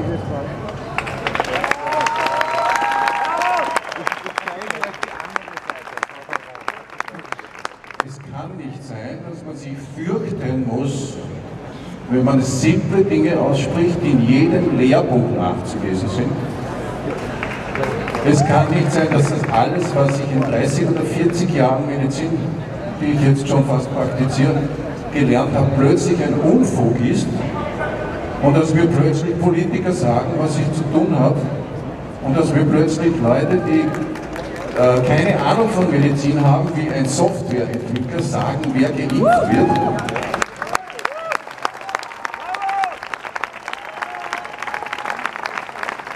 Das glaube ich definitiv nicht. Das hat auch mit Verschwörungstheorie nichts zu tun. Und das hat auch mit Revolution, mit Aufstand und mit ich weiß nicht was überhaupt nichts zu tun. Das ist ganz simpel. Was hier geschieht momentan ist, dass der Verstand der Leute zunichte gemacht wird auf eine Art und Weise, wo ich mich frage, wie gibt es das überhaupt? Ja? Ich habe diese Woche einen Patienten gehabt, der hat blaue Fingernägel gehabt. Das heißt, er hat unter der Maske keine Luft bekommen. Er hat eine Lungenfibrose. Ich habe ihm eine Maskenbefreiung ausgestellt. Ja? Als er die Maske abgenommen hat, hat er blaue Lippen gehabt. Solche Menschen gibt es auch. Es gibt nicht nur Popoxunde. Und es ist ein Argument, das nicht zulässig ist, wenn man immer mit den Chirurgen argumentiert und sagt, ja, die Chirurgen tragen das auch den ganzen Tag. Chirurgen brauchen eine besonders gute Konstitution. Ja? Das sind Menschen, die eine sehr anstrengende Arbeit machen und die halten das in der Regel dann aus. Und die, die es nicht aushalten, die scheiden vorher schon aus. Ich habe Kollegen gesehen und ich habe auch Kolleginnen vor allem gesehen, 15 Kilo Frauen, die wollten Chirurgin werden. Das hat nicht geklappt, weil sie im OP umgefallen sind. Das geht halt nicht. Ja? Und das verträgt nicht jeder.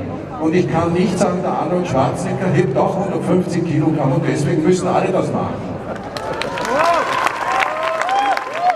Vielen Dank. Danke.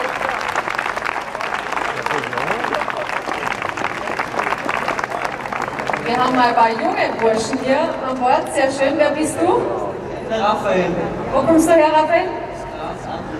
Okay, er kommt aus Graz Andritz. Raphael, das Mikro gehört dir. Wir sind sehr gespannt, was du als junger Mensch uns da draußen zu erzählen hast. Dankeschön. Also, ja, also ich bin 50 Jahre alt und in der Schule ist auch voll stressig, weil man die Masken immer aufhaben muss. Manche Lehrer müssen sie beim Unterricht aufhaben, was echt anstrengend ist. Teilweise drei, vier Stunden lang. Und wenn man dann die Masken runternimmt, hat man einfach Kopfweh, weil viel zu viel äh, CO2 oder so noch einatmet. Das ist einfach ungesund für den Körper. Und zwar wurde jemals bewiesen, dass eine Maske wirklich was hilft, dass es schützt. Es wurde nie gesagt, es war nie wirklich so richtig, dass es einfach stimmt. Das ist keine Ahnung.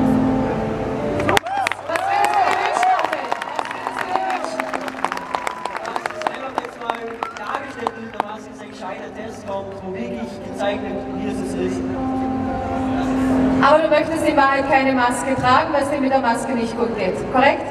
Ich will keine Maske mehr tragen müssen.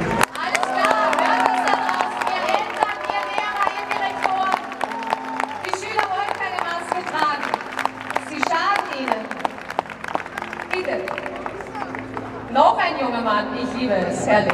Bitte, wer bist du? Max, hallo. Hallo Max, ich nehme an, du kommst auch aus Graz? Du kommst auch aus Graz, Andres. Alles klar, das Mikro gehört dir. Also, also ich gehe auch, ich bin 14 Jahre alt, ich gehe jetzt in die Oberstufe und ich müsste halt auch, wie der Raphael gerade erzählt hat, immer Masken tragen, das stört mich auch sehr, weil mein Onkel ist Arzt und der findet auch, dass es total unnötig ist. Also mir geht es manchmal so im Herbst nicht so gut, wegen Halsweh, Schnupfen viel und dann noch, unter, dann noch eine Maske drüber. Da kriege ich auch manchmal Atemprobleme und das ist nicht, echt nicht gut. Deswegen finde ich auch, dass man die Masken in der Schule echt nicht tragen müsste. Und vor allem, wie der Raffi schon erwähnt hat, es gibt ja eigentlich nichts, was beweist, dass die Masken jetzt wirklich was bringen. Und ich finde einfach, dass man die auch nicht tragen sollte.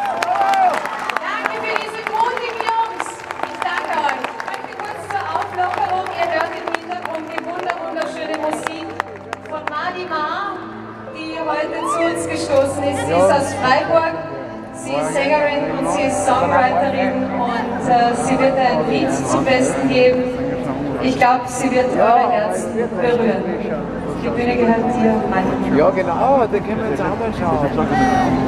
Eine komplette Erhebung uns auch mal schauen. Schauen wir dir. Ja, ich melde mich sowieso morgen, okay? Was?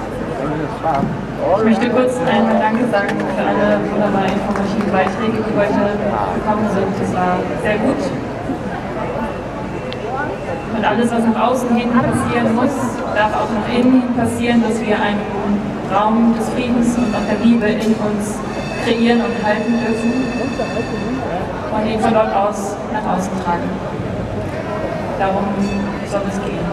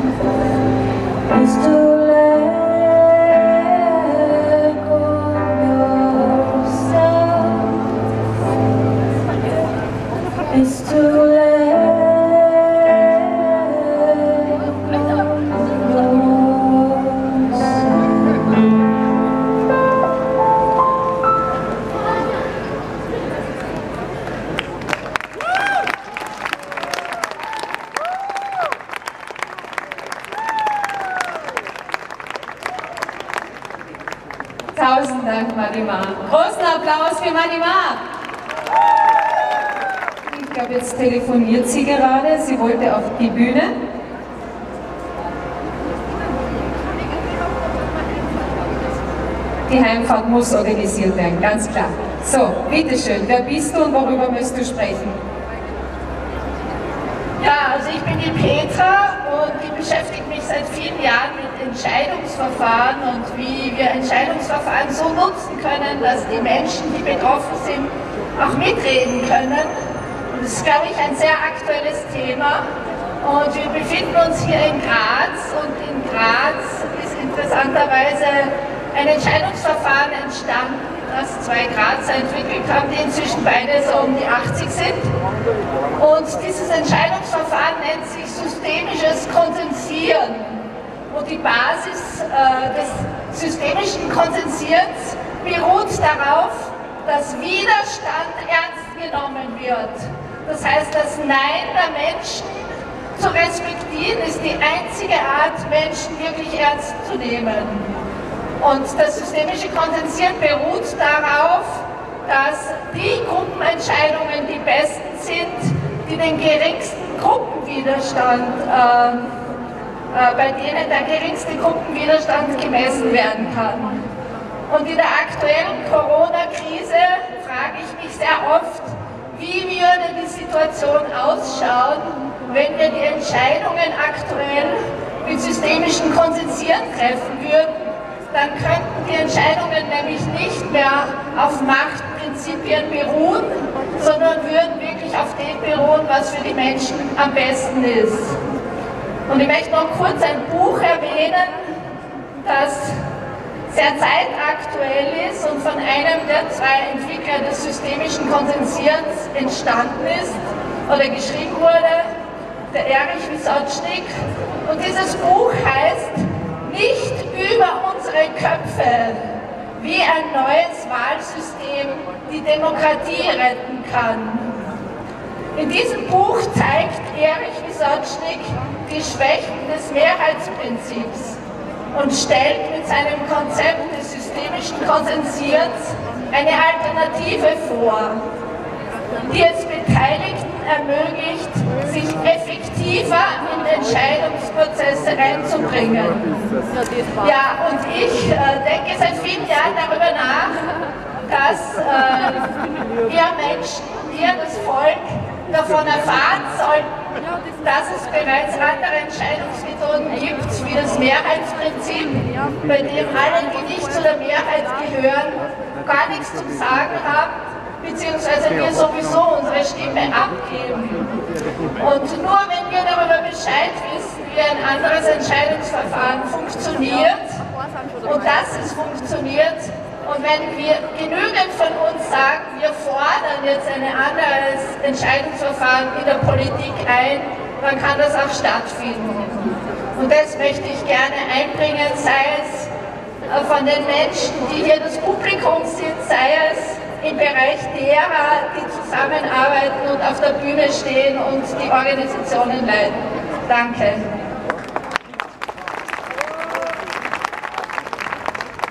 Vielen Dank. Ich möchte noch einen äh, Kollegen aus äh, Salzburg. Salzburg ist ein bisschen das Schlusslicht, was die Demonstrationen anlangt. Die werden am 18. das erste Mal sozusagen eine Demo machen. Ihr habt ein bisschen geschaut, was wir sonst so in Österreich machen. Und äh, toi toi toi und macht einen Aufruf. Dankeschön. Hallo liebe Menschenfamilie in Graz. Sehr schön, dass wir heute alle zusammenstehen. Wie gesagt, ja, die Bundesländer müssen jetzt alle mitmachen. Wir in Salzburg sind ein bisschen nachzüglich unterwegs, aber immerhin am 18.10. geht es bei uns los. Wir laden euch gerne sehr herzlich ein, auch dort ein Teil zu sein. Und seid aber alle traurig, wenn es Manche Leute sehen es auch noch vor der Kamera jetzt, können nicht bei solchen Veranstaltungen dabei sein, haben da Mitfahrgelegenheit. Aber das macht euch so auch nichts. Schaut zu Hause in euer Dorf rein, in euren Bezirk, in euren Block. Mit den Reden kommen die Leute zusammen. Ja? Man muss nicht immer nur auf einem großen Fest sein, es reicht schon ein normaler Spaziergang. Ich mache auch Spaziergänge in meiner Stadt, spricht die Leute an. Und so kommt auch Bewusstseinsbildung hervor. Und am 18. bei uns kommt zum Beispiel auch der Herr Jaroslav Belski, wir haben den Brigitta bei uns noch da, der äh, Gesundheitsmechaniker da. Es kommen einige interessante, gute Sprecher zu uns und stärken wir uns gegenseitig in den Bundesländern, machen wir so eine, eine kleine Nomadenfahrt von einem Bundesland nach einem anderen und so haben wir große, tolle, die, die kritische Masse, die es einfach braucht. Somit Dankeschön. Danke dir. Melde dich an auf der Social-Plattform von coronadatencheck.com, bild eine Gruppe und lad gleich alle Interessierte ein. Also wir sind schon viel in den Bundesländern herumgereist. Und toi toi toi, alles Gute für Salzburg. Bitte. Wer bist du? aus Kärnten und möchte ganz kurz was sagen. Also wir schauen alle einmal darauf, da Lebensraum verbindet. Und dieser Lookdown, Lüg, Lüge, Lookdown, der ist ein Todesraum, der vernichtet. Und wir machen beim nächsten Lo Lookdown nicht mehr mit und wir bilden einen Raum des Lebens. Und jeder Einzelne ist aufgerufen, dass er diesen Lebensraum für sich zu Hause und in, der, in seiner Umgebung bildet. Damit machen wir nicht mehr mit mit diesem Raum des Todes, der Vernichtung. Das war mein Wort, im Herzen noch liegt. Danke für diesen Lebensraum, den ihr noch schon. Danke. Ich sage danke bei euch allen. Es war wieder ein kleiner Tropfen. Wichtig ist, werdet nicht müde. Ich erlebe das immer wieder, dass die Leute dann so sagen, ja, und was ist jetzt das Ergebnis? Was wird passieren? Ja, nichts wird passieren. Das ist ein Prozess. Wir haben 40, 50 Jahre eine Entwicklung gehabt. Und dieser Entwicklung haben wir, im, ich sage jetzt einmal so ein bisschen im Tiefschlaf zugesehen. Und jetzt sind wir dabei aufzuwachen. Das ist ein Tun, ein Werden und das hat kein Ende, sondern das wird immer weiter, weitergehen. Alles Liebe, danke noch einmal. Äh, jetzt überrascht mich. Vielen Dank noch einmal an die Polizei. Danke sehr, dass das so toll abgelaufen ist. Auch an euch vielen lieben Dank und wir hören, sehen uns demnächst.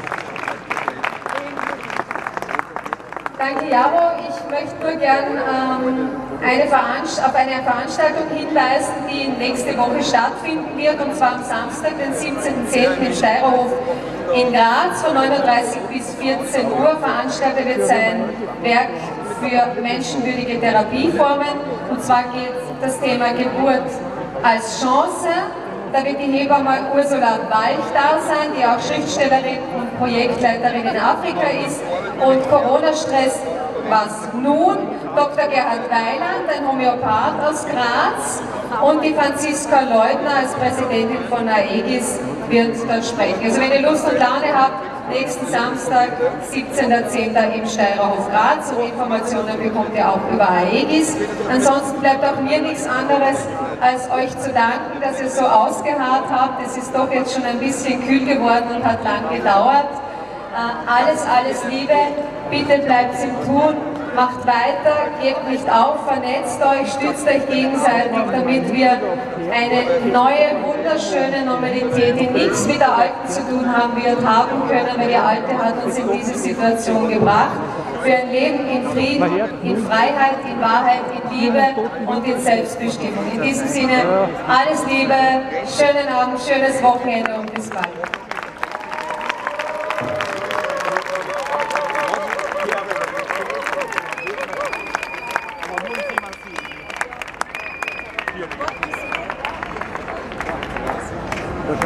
Papa schon besorgt hat. Ja. Feierabend. Ja, so viel gibt es nicht mehr. Das Mikro, alles klar. Super, danke. Äh, ich bin der Gottfried, hallo. Äh, es geht darum, wir sind die Gruppe No Risk, No Fun, äh, No Mask in der Öffis und in den Öffis. Äh, wir wollten jetzt starten beim roten Bus von unserem Super Daniel. Da ist der Treffpunkt. Und wer mitmacht, wir fahren mit den Öffis ohne Masken. Und ja, ich würde alle gerne einladen. Würde mich freuen, wenn ein paar dabei sind. Dankeschön. Schönen Abend. Danke, Graz.